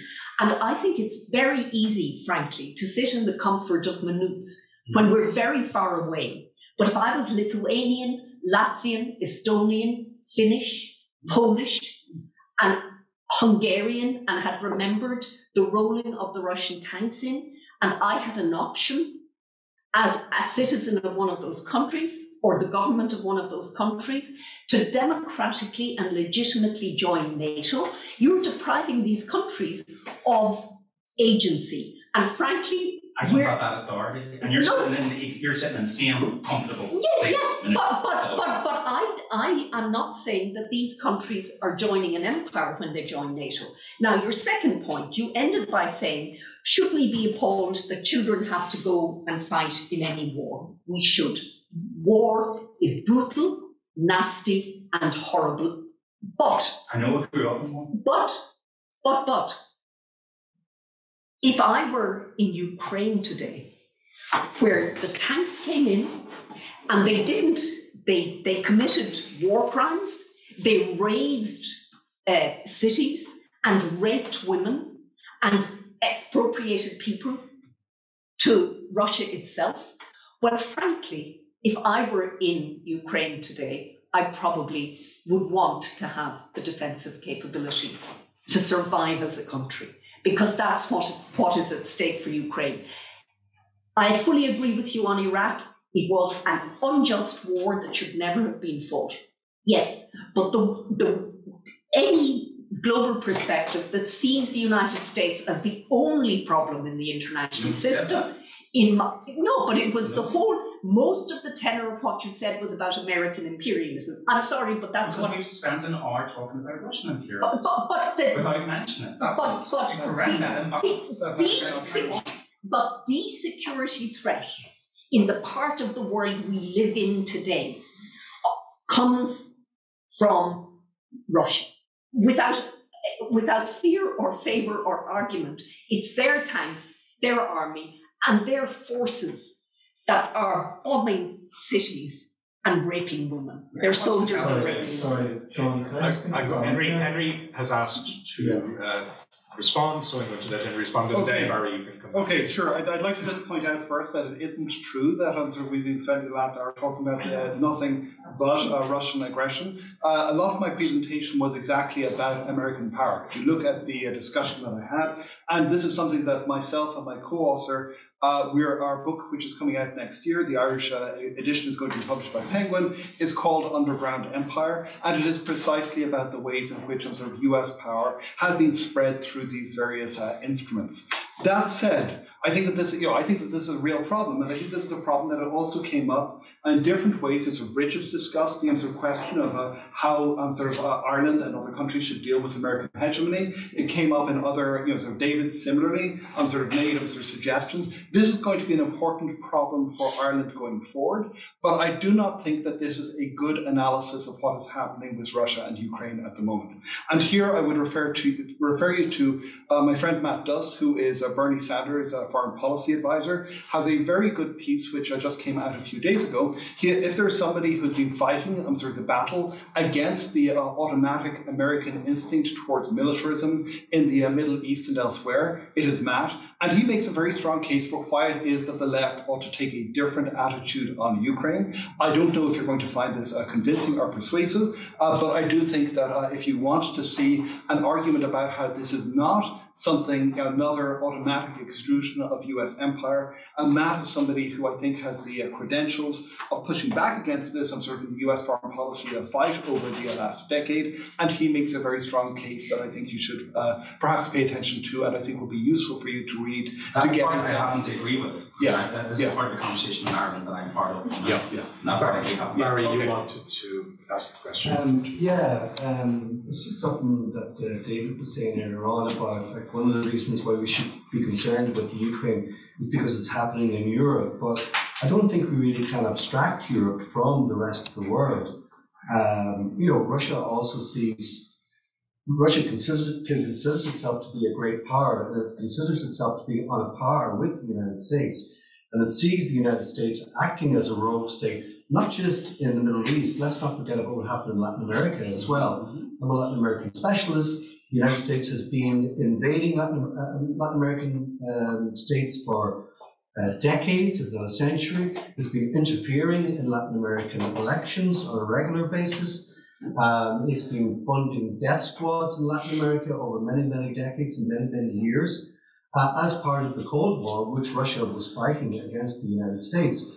So Russia doesn't see this just in terms of Europe. Russia also sees this in terms of the whole world, and I think we should see the whole world as well, uh, from that perspective as well. And I think it's very important to note that this is very much a northern war in the sense that the vast majority of developing countries are having nothing to do with it and don't want to have anything to do with it at all. Um, and they're staying out of it and trying to stay neutral. Um, and there's just one other point which is completely different, but it's something I want to pick Brigid up on, is that Brigid mentioned the influence of Putin on the radical right here in Europe. Uh, and maybe that's true, I'm not so sure, but if there's one um, uh, entity which has influenced the radical right in Europe, it has been the Republican Party of the United States mm-hmm. and Donald Trump particularly. And this is not just, and this has been happening not just from Donald Trump, but before Donald Trump as well. It's uh, uh, US think tanks and NGOs funding uh, anti women propaganda here in Europe and spreading anti women propaganda here in Europe and shoring up um, radical right arguments against women's right to choose, against lesbians and gays, and also against immigrants. And that's coming from the United States, it's not coming from Putin or at least not only from oh, Putin, or at least not only from Putin. But I think, you know, just blaming the emergence of the radical right on Putin and Putin alone is very much a one-sided uh, point of view. I never Said that. I never you said did. that. You meant, no, you, you said, uh, Brigid, sorry, excuse me. You said that the radical right was related to Putin here in Europe, and you didn't mention the fact that also it's being funded by the United States and has been so for decades, and particularly the Re- Republican Party of the United States. Um, when you say um, that Russia sees itself as a global power and has seen uh, America doing you know, bad things around the world, I don't necessarily disagree. What possible justification does that give for invading Ukraine? I'm only trying to point Uh, out. well, sorry, I said what possible. ex- I'm not trying to justify it. Well, then not trying to agree- you agree that the, the most immediate problem we, the most immediate problem we face in Sorry, Europe David, is, I'm is, afraid you're misreading what I'm trying to say. I'm trying to say that we should be try to take that broader perspective, not just a narrow European perspective, in trying to understand why this war, war is actually happening at the moment. Well, sorry, it's, it's a narrow European perspective because the war is happening in Europe and it's, it's, it's a, it's You can't a, it's a, Europe, it's a this war European from- company, it's a European country threatening every other from- country in Europe. You can't abstract this war from the global context. It's impossible. Right. Or at least it's, it's I not don't know if within anybody else wants to respond. Um, there are other questions, and I'm going to take them. Uh, Duncan first, and then Ken. Thank you. My name is Duncan Nicholson. Um, I'm a graduate of Leeds University in History and Politics. I recently had a discussion with, I think it was an American citizen, who mentioned the fact that a number of countries, including the UK and the US, and I'm not too sure if it was Russia, guaranteed the borders of Ukraine on condition that Ukraine disarmed the nu- nuclear weapons.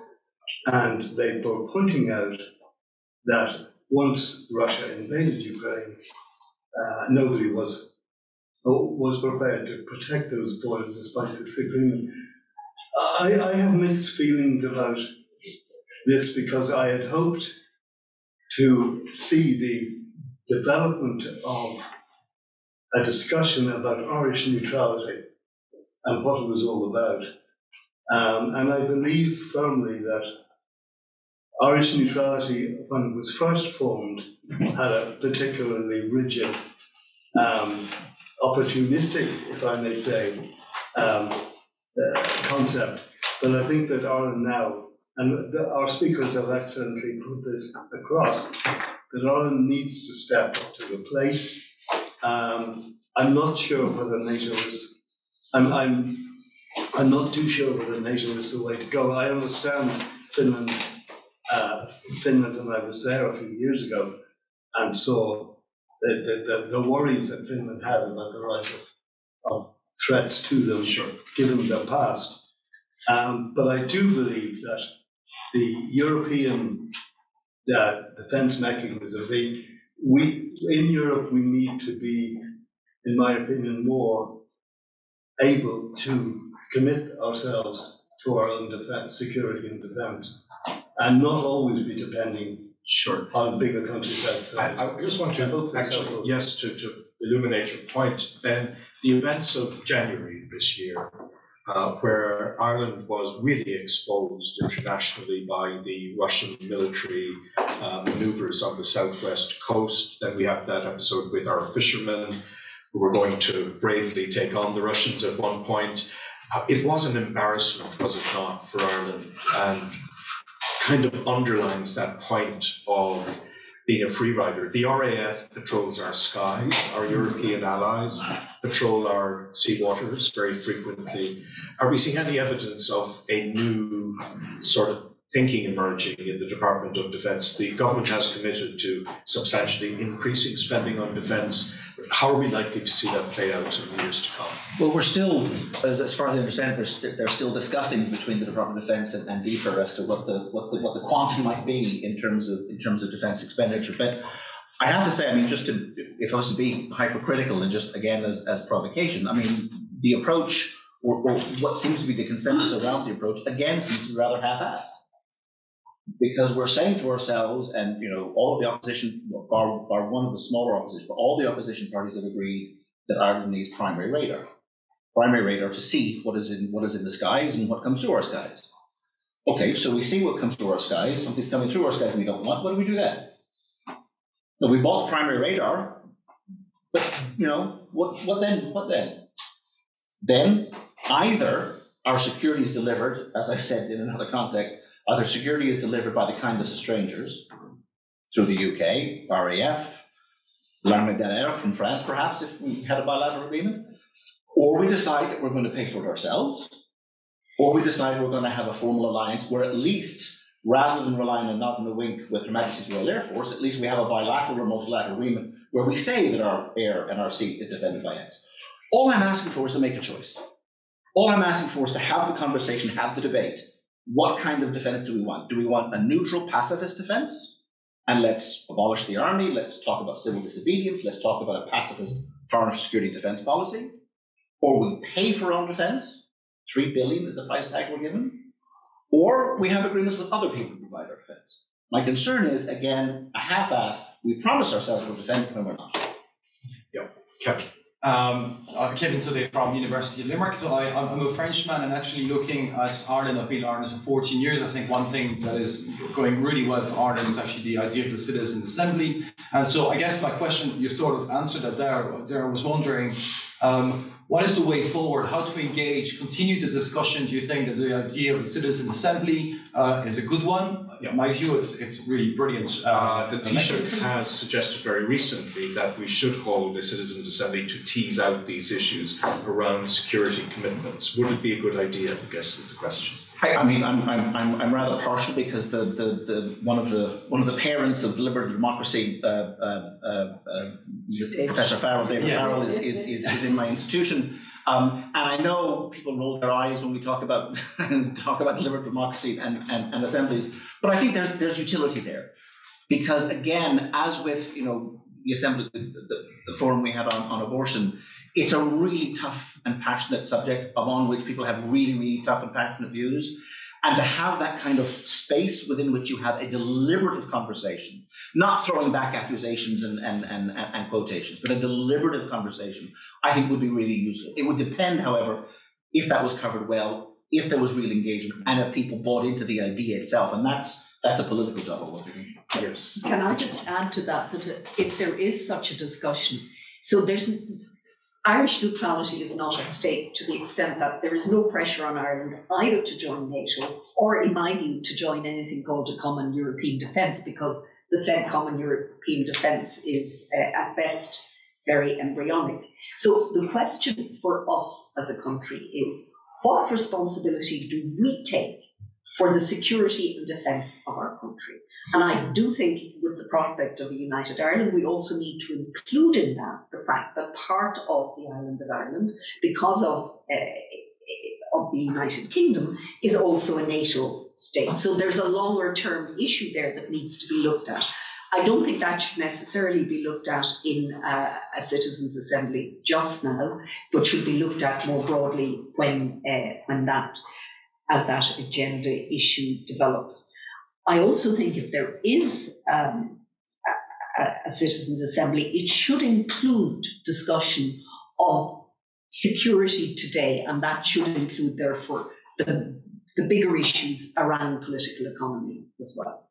But of course, you can't stretch it so far that then it ends up being about nothing. So I, but but we need to be, and the reason why, for example, a country like Finland, within a couple of months of the twenty fourth of of uh, February.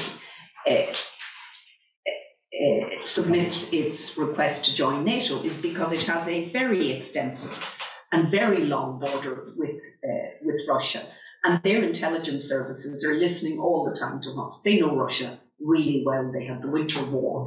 Their world is very different to ours, and I think one of the dangers in our country is that we think somehow or other we're better than these other countries, but we're not. We're just luckier in this juncture, at this juncture in historical terms. I mean, at an event Ben and I spoke at last week, there was an Estonian, uh, an Estonian, uh, he's member of the Central Command in Brussels now in NATO, and his description of what faced his country in 1991 and the fact that they needed, from their perspective, to join NATO, from, in my view, was well founded. Well founded. And if I were Estonian, I would want the same thing. And if they weren't in NATO today, they'd have no defence at all. Um, just a few questions. There are quite a few. Senator Malcolm Byrne first. Thank, thank you very much, and thanks for uh, the, the engagement as well. Uh, I'm Malcolm Byrne, I'm a Fianna Fáil senator. My, my point relates really to the last question on the Citizens' Assembly and how we move this debate forward. Because if we ever discuss in Ireland defence and security policy, it immediately translates into is Ireland going to join NATO? Mm-hmm. Uh, and even I'm conscious of if you look at the opinion polls that have taken place over the, you know, the, the last number of weeks, the questions are not around defence and security policy. It is, do you favour Ireland joining joining NATO? And it's a much broader uh, question. So it's it's how we move on at that public that public debate. There is a fear that in many ways discussions around defence and security policy tend to be seen as a preserve of you know academics and a small number of politicians, and I will say a small number because there isn't an engagement among, among most politicians uh, around uh, a lot of a lot of these issues. I think it's interesting, you know, most of the discussion on the Commission on the Future of the Defence Forces is really around terms and conditions in the Defence Forces. Uh, it's not around some of those uh, th- those those broader uh, questions. My, my other point, I think, is relating to, uh, and I do get the point about that we are still dealing with boots on the ground, um, but our cyber vulnerabilities. Uh, and we need to remember that last year we experienced the biggest ever cyber attack on a health service anywhere in the world. Uh, you may or may not, depending on your definition, define that as a terrorist attack. Remember, it emanated from Russia. The reality is, is that we are going to see increased cyber attacks uh, often, if not state sponsored, they're going to be state condoned. We are in no way capable uh, of dealing with it. And to Henry, your, your earlier point, we store 30% of Europe's data in this country. Uh, you know, that immediately makes us uh, a target. Uh, I, am I'm, I'm extremely worried that, that from a cybersecurity perspective, we're not going to be able uh, to defend ourselves. But I think our biggest challenge is around you know how we get you know this debate out to a wider audience. It also features, and just to, to finally to, to David's point around, you know, the, the when you mentioned you know, the climate change issue. Uh, you know, you talk to most people, they say they're, they're concerned about climate change, but when you talk about the real changes on the ground, oh, no, no, no, that's going to cost too much, we're not going to move on, on those issues. And I think it's some of the same challenges we face uh, with regard to uh, defence and security policy. Thanks very much. Going. No, I just wanted, to, I mean, I agree entirely with your first point, Senator, that look, we need to take NATO out of this discussion because, as Brigid said, as a, there's no pressure on us to join NATO. No one cares whether we join NATO or not, and we don't have to. And I don't think it is the immediate issue, to be honest. I do agree with Brigid that going forward in terms of a united Ireland, that question will present itself. It's not, we're not there yet. The, the immediate debate is exactly the two questions that are really the emphasis here. One is how do we defend ourselves? I mean, you know, we look around the world and we say, what is our capabilities? You mentioned cyber as a huge vulnerability. You're absolutely right. uh, the, the, the, the airspace and the, the, the, the, seas around us, are other vulnerabilities, but also, frankly, our capacity for territorial defense when you look at what's happening in Ukraine. It does make a difference whether you are country who can offer sustained resistance to any attempt to, to, to uh, invade your territory. We have to think about that. But the broader issue is how do we fit in a broader picture of European security, a Europe which is trapped in geographically where we are, but with huge dependence on our immediate neighborhood uh, to the east, but also uh, Africa, which is, of course, part of our neighborhood. Uh, and uh, in, in, a world between the US and China, and how you define that security in the broad terms uh, that um, Henry has done.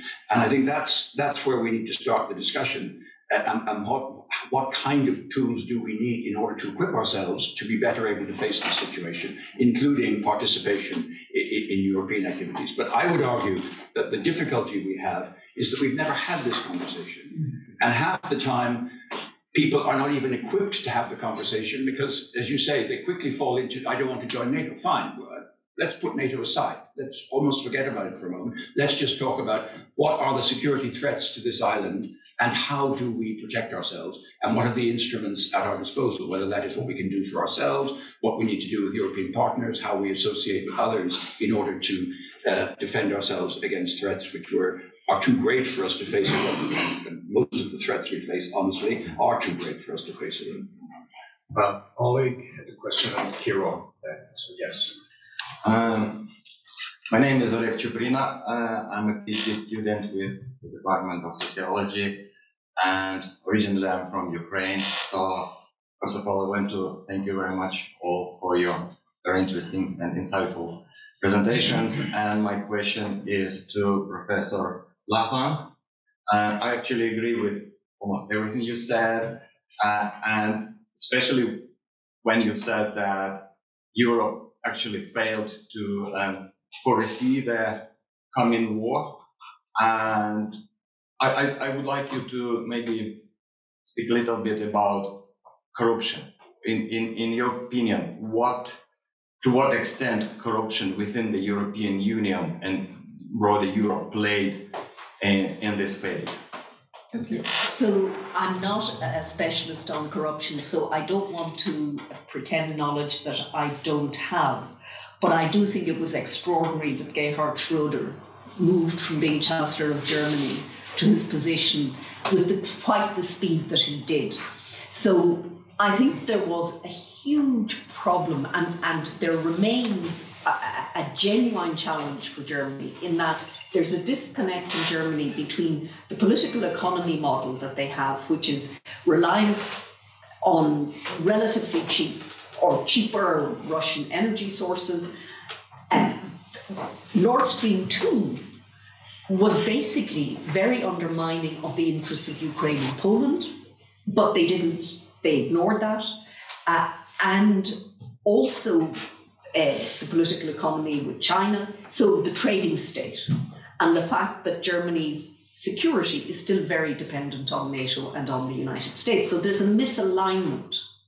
So I think, uh, yes, there is a problem, a huge problem across Europe of, but not just in the EU, but of course in the city of London and also in Zurich, uh, on on dirty money and and the, the in in my view one of the biggest problems of uh, globalization was the uh, freeing of, uh, of, of financial controls. In other words, that that was where when, when money could flow with the ease in which it did, it inevitably brought and still brings uh, a lot of corruption with it.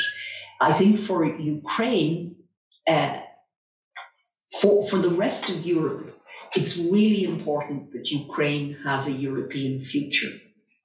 I think that really matters, not just to Ukraine, but to the rest of Europe.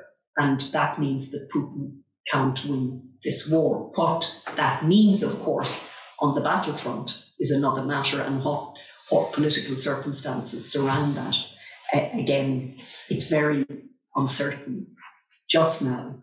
But if Russia if Russia if Russia destabilizes Ukraine to the extent that it can't function as a functioning democracy and economy, then I think that's very bad news for particularly the countries in East Central Europe. And the nearer you are to Russia, the more dangerous that is. So there's an awful lot at stake. And, and, I would add there's a really deep fragility about the Western Balkans as well. Yeah. And we've kept it at a yes. remove, hoping that it wouldn't explode. Yeah. And there's a lot of danger there similarly. Kieran. Thanks very much. Uh, my name is Kieran Behan. I'm recently finished my undergraduate studies here in Maynooth. I was a student of Professor over I'm also a graduate of the Washington Ireland program for those who are familiar. My question was for David, but I'd appreciate the views of the other panelists as well.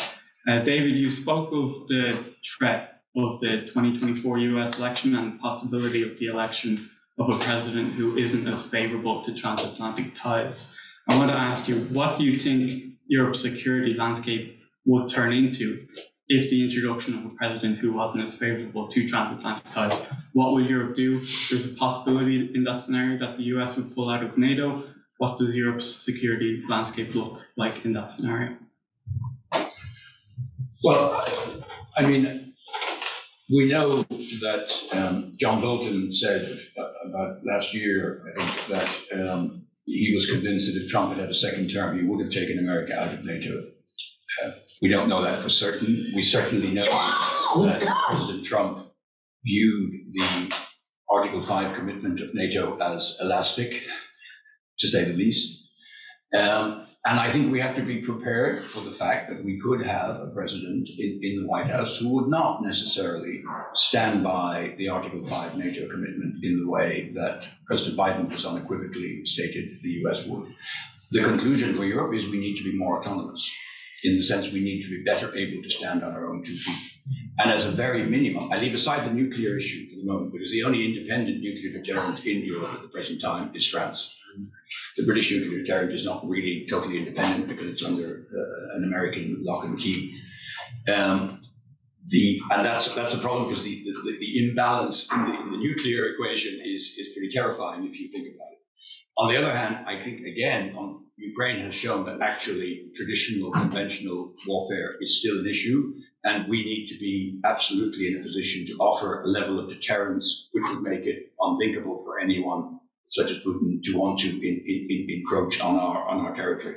I think the more we do that, the less likely it is that even a Trump-like president in the United States will want to completely withdraw because part of the feeling of it is, well, the Europeans aren't willing to take enough responsibility. And it's not only about how much we spend, it's the, it's the, the, the, the quality of that spend.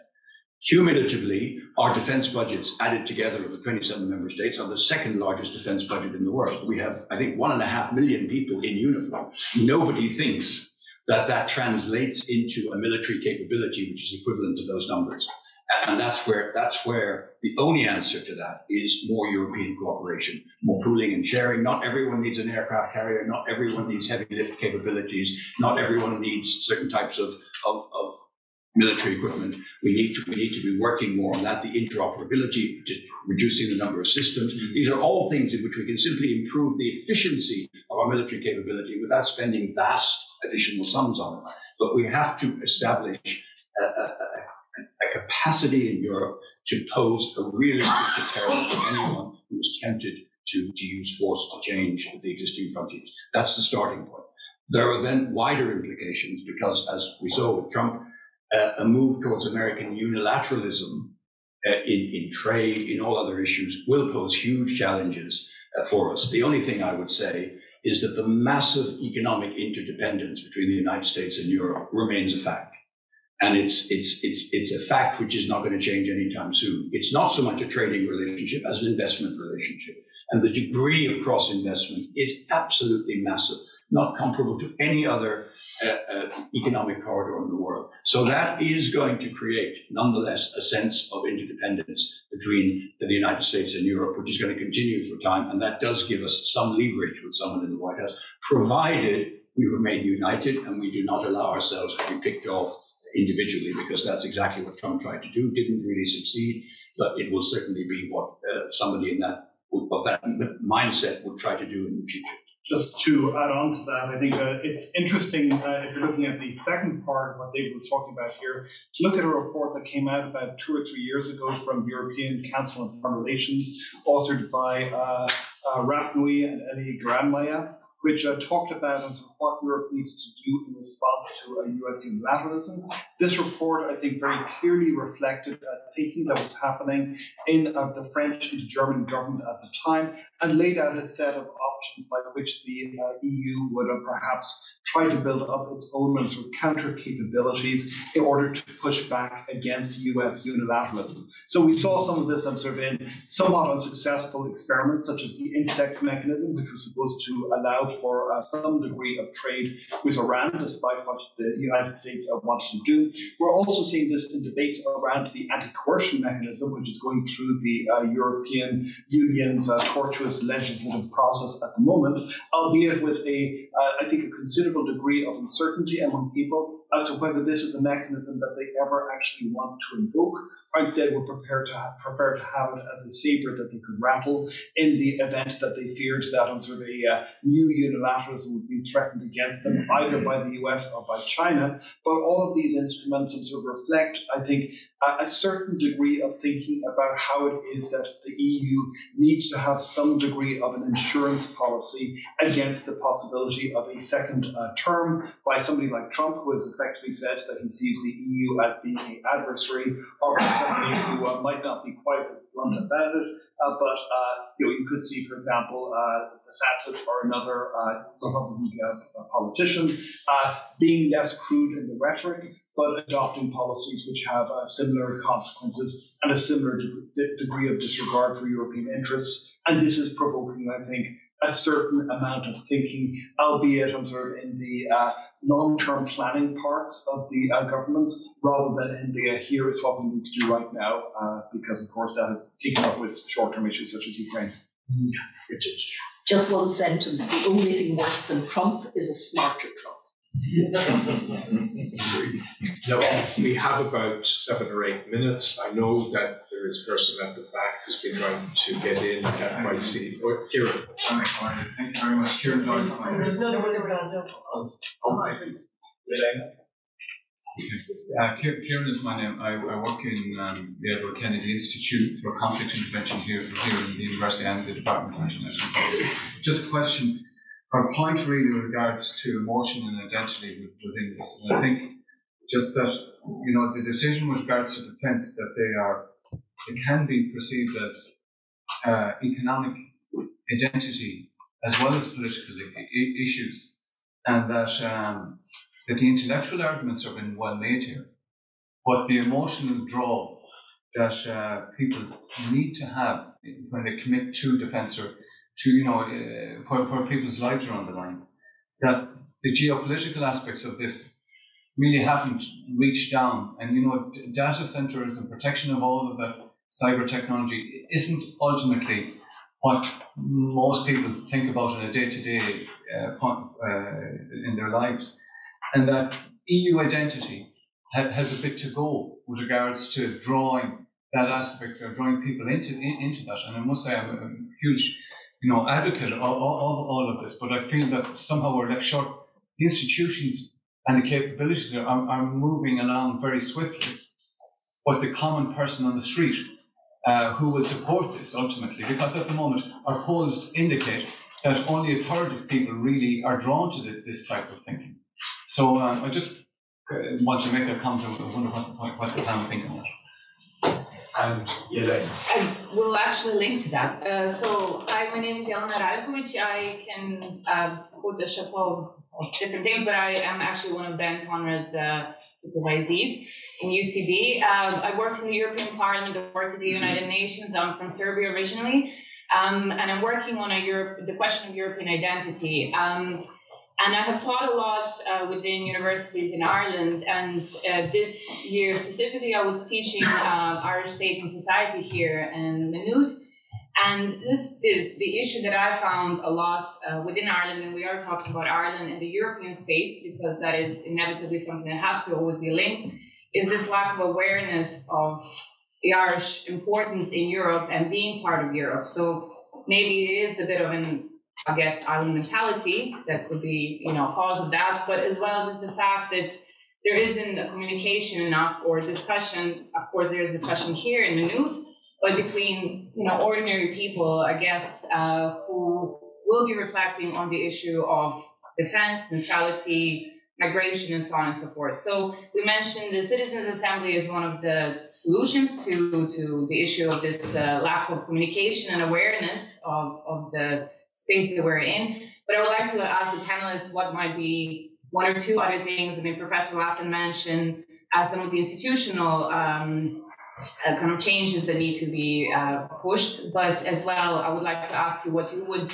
you know, suggest as well, both as academics but as policymakers, that we should um, work on both in Ireland and Europe to raise this awareness.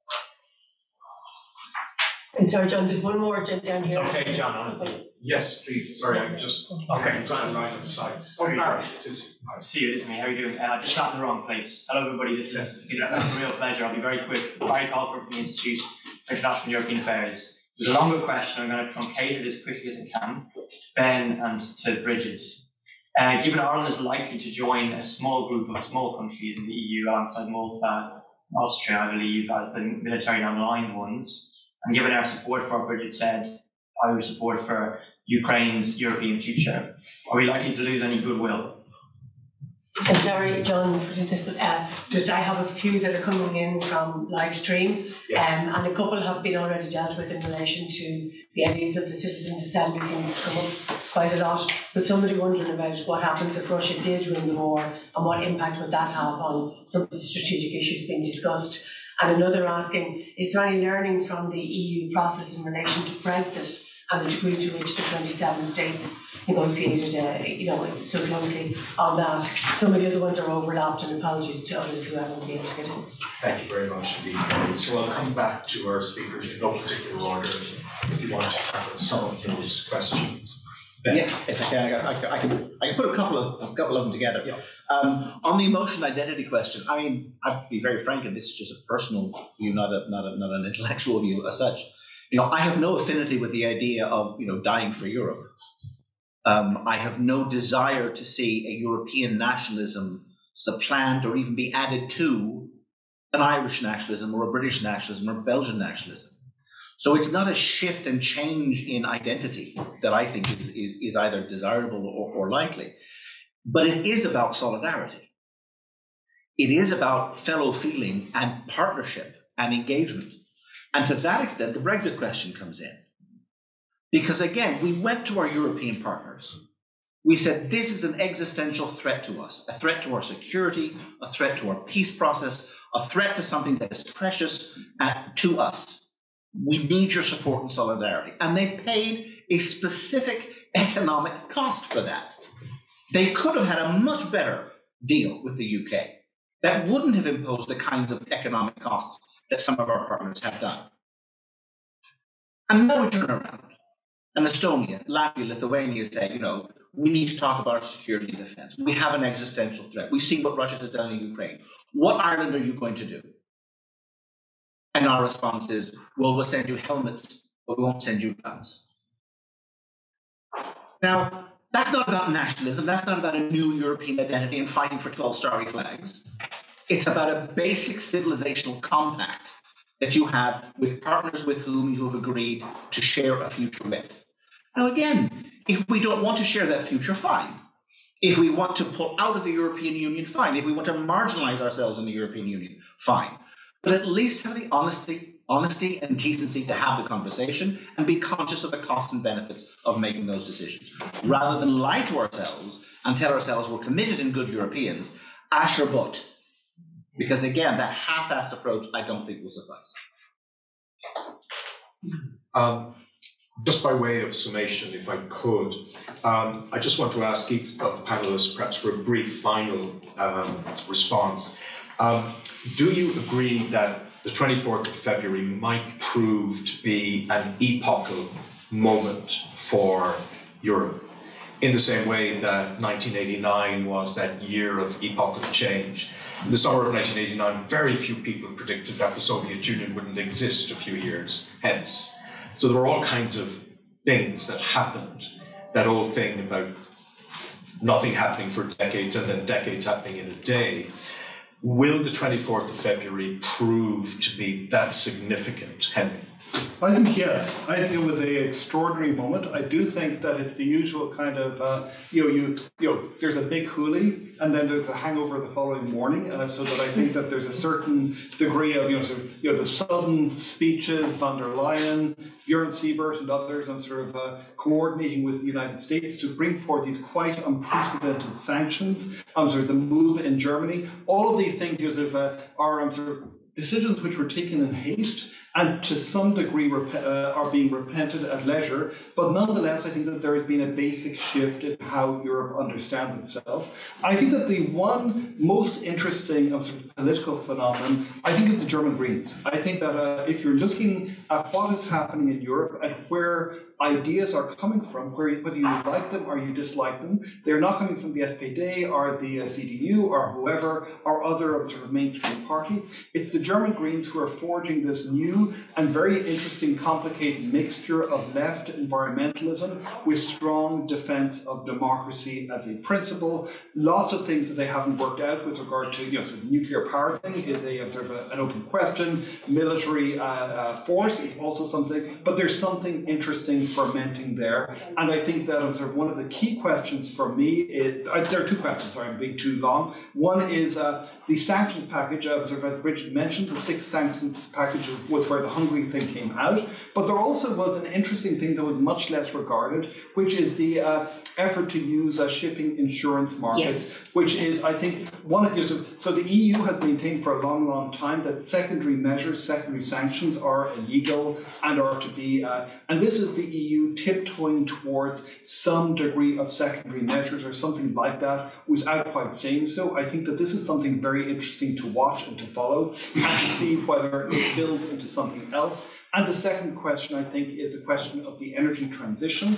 To what extent this does provoke a change in the physical materiality of how power is distributed and, uh, and uh, transported, which could sort of answer some of the questions about corruption by providing a different energy model. But here again, there are difficult questions which the United States is confronting at the moment about, for example, Chinese domination of uh, batteries, of photovoltaics, and other uh, things that are crucial to the energy transition uh, Biden uh, yesterday issued an order basically saying we're going to go with Chinese capacity for the moment. Europe is going to have to make similar decisions in which way it should jump. I don't know, but that again is a I think something that you know infrastructural decisions have decade-long and sometimes century-long consequences, and that's where I think a lot of the action is likely to be.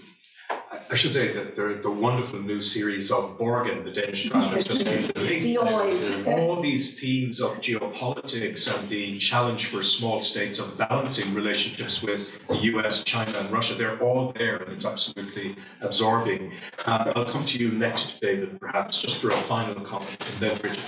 I mean, on your question about the 24th of February, uh, I'm inclined to say, as Calvin and I said, Henry Kissinger, maybe it's a bit too soon to tell. I mean, potentially, yes, it's, it's, it's, it's, it's hugely important. But of course, we could have, you know, the, the, the 1st of July could suddenly, you know, the whole thing escalates. I mean, we just don't know where this is going.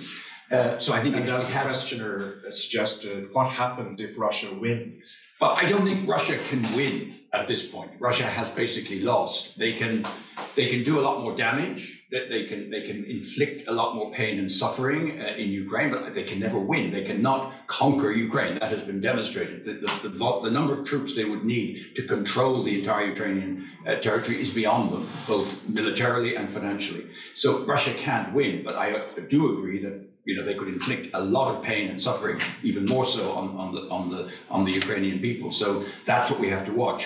I, I think if I may to our Serbian colleague, I, I think for us in Ireland the key question is how do you put all this together in a vision of our role in Europe, which is slightly different from that which we've had previously? I, I think that's the challenge we face. It can't simply be business as usual, which is largely seeing Europe as being about, frankly, economics and, and economic benefits and you know, playing both sides against the middle by being able to also keep a close relationship with the United States. I'm not saying we shouldn't, but I, I think the more you look at it, the more you see that geographically we are where we are uh, something which Brexit sort of denies. And, and we are totally reliant on what happens with the rest of this continent. And we need to be right in there, engaged, willing to commit, and also contributing to shape what this Europe becomes faced with the threat from Russia, faced with the, the, the, the, the, binary choice between the US and, and, and China. And, and that's, that's the big issue facing us. And we need the debate we need here is to see that bigger picture and not not just to divide it up into a discussion about NATO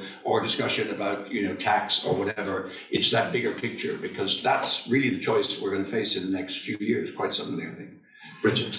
So I think the 24th of February was a, a transformative moment in the first sense that it was a clarifying moment because a lot of the issues, energy vulnerability, the need for strategic autonomy, uh, responsibilities in defence and security, the, the, the nature of cooperation and competition with the United States, all on the table. They've been on the table for a very long time, but it was clarifying to the extent that the, they, they, they have generated a series of choices about all sorts of things, and Henry mentioned uh, several of them. So, choices, urgency, and very compelling.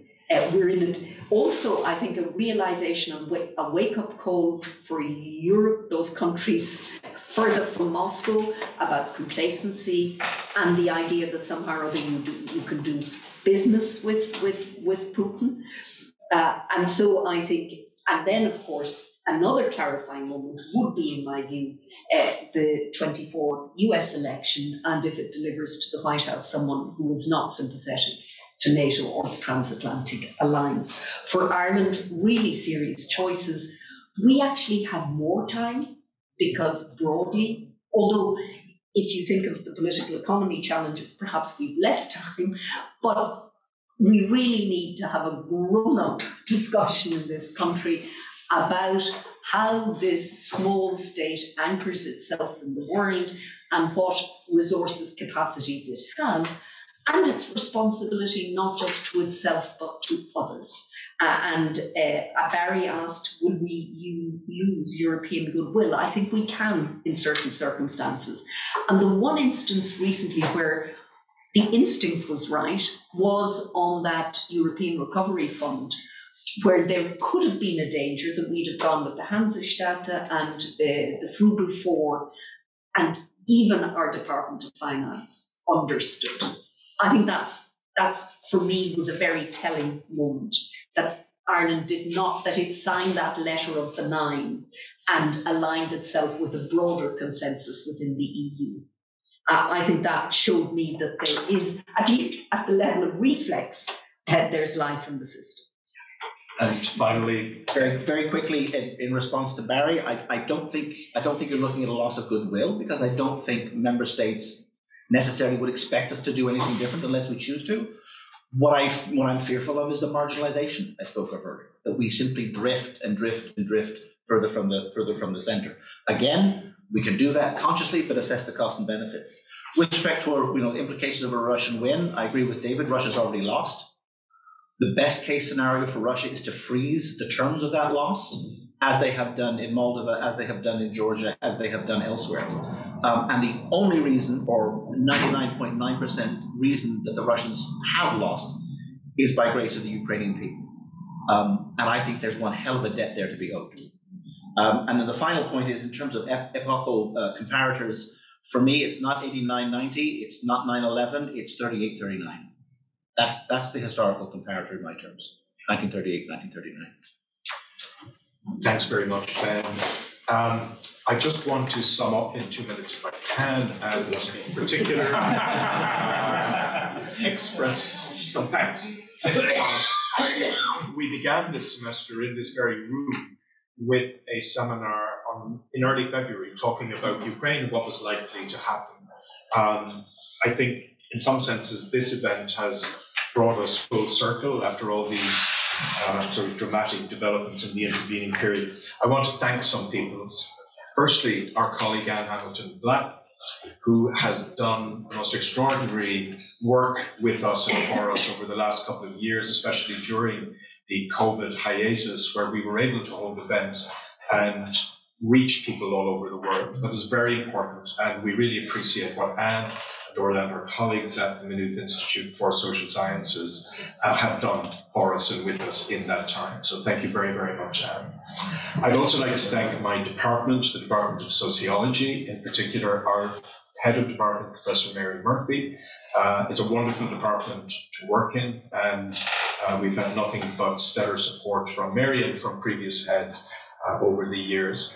I'd also like to thank our Dean of Social Sciences, Dr. Mark Maguire, for his support for our centre over the last number of years. Um, I'd like to thank our audience. It is really wonderful to see people back in-house and present in every sense, and in some ways quite competitive uh, in uh, the responses from uh, the audience. I'd also like to thank those who have joined us online who weren't able to be here. It's great to be able to offer that option and to include people in the conversation in Ireland, beyond the university, and uh, beyond the country. Finally, my greatest debt is to our speakers, to Henry, Ben, Brigid, and David. Thanks so much for what was an expansive, really illuminating, stimulating conversation. And let's hope it's the beginning in the Irish context of a much broader academic and societal and policy driven conversation about where Ireland fits in, in European and international terms. So thank you all very, very much indeed.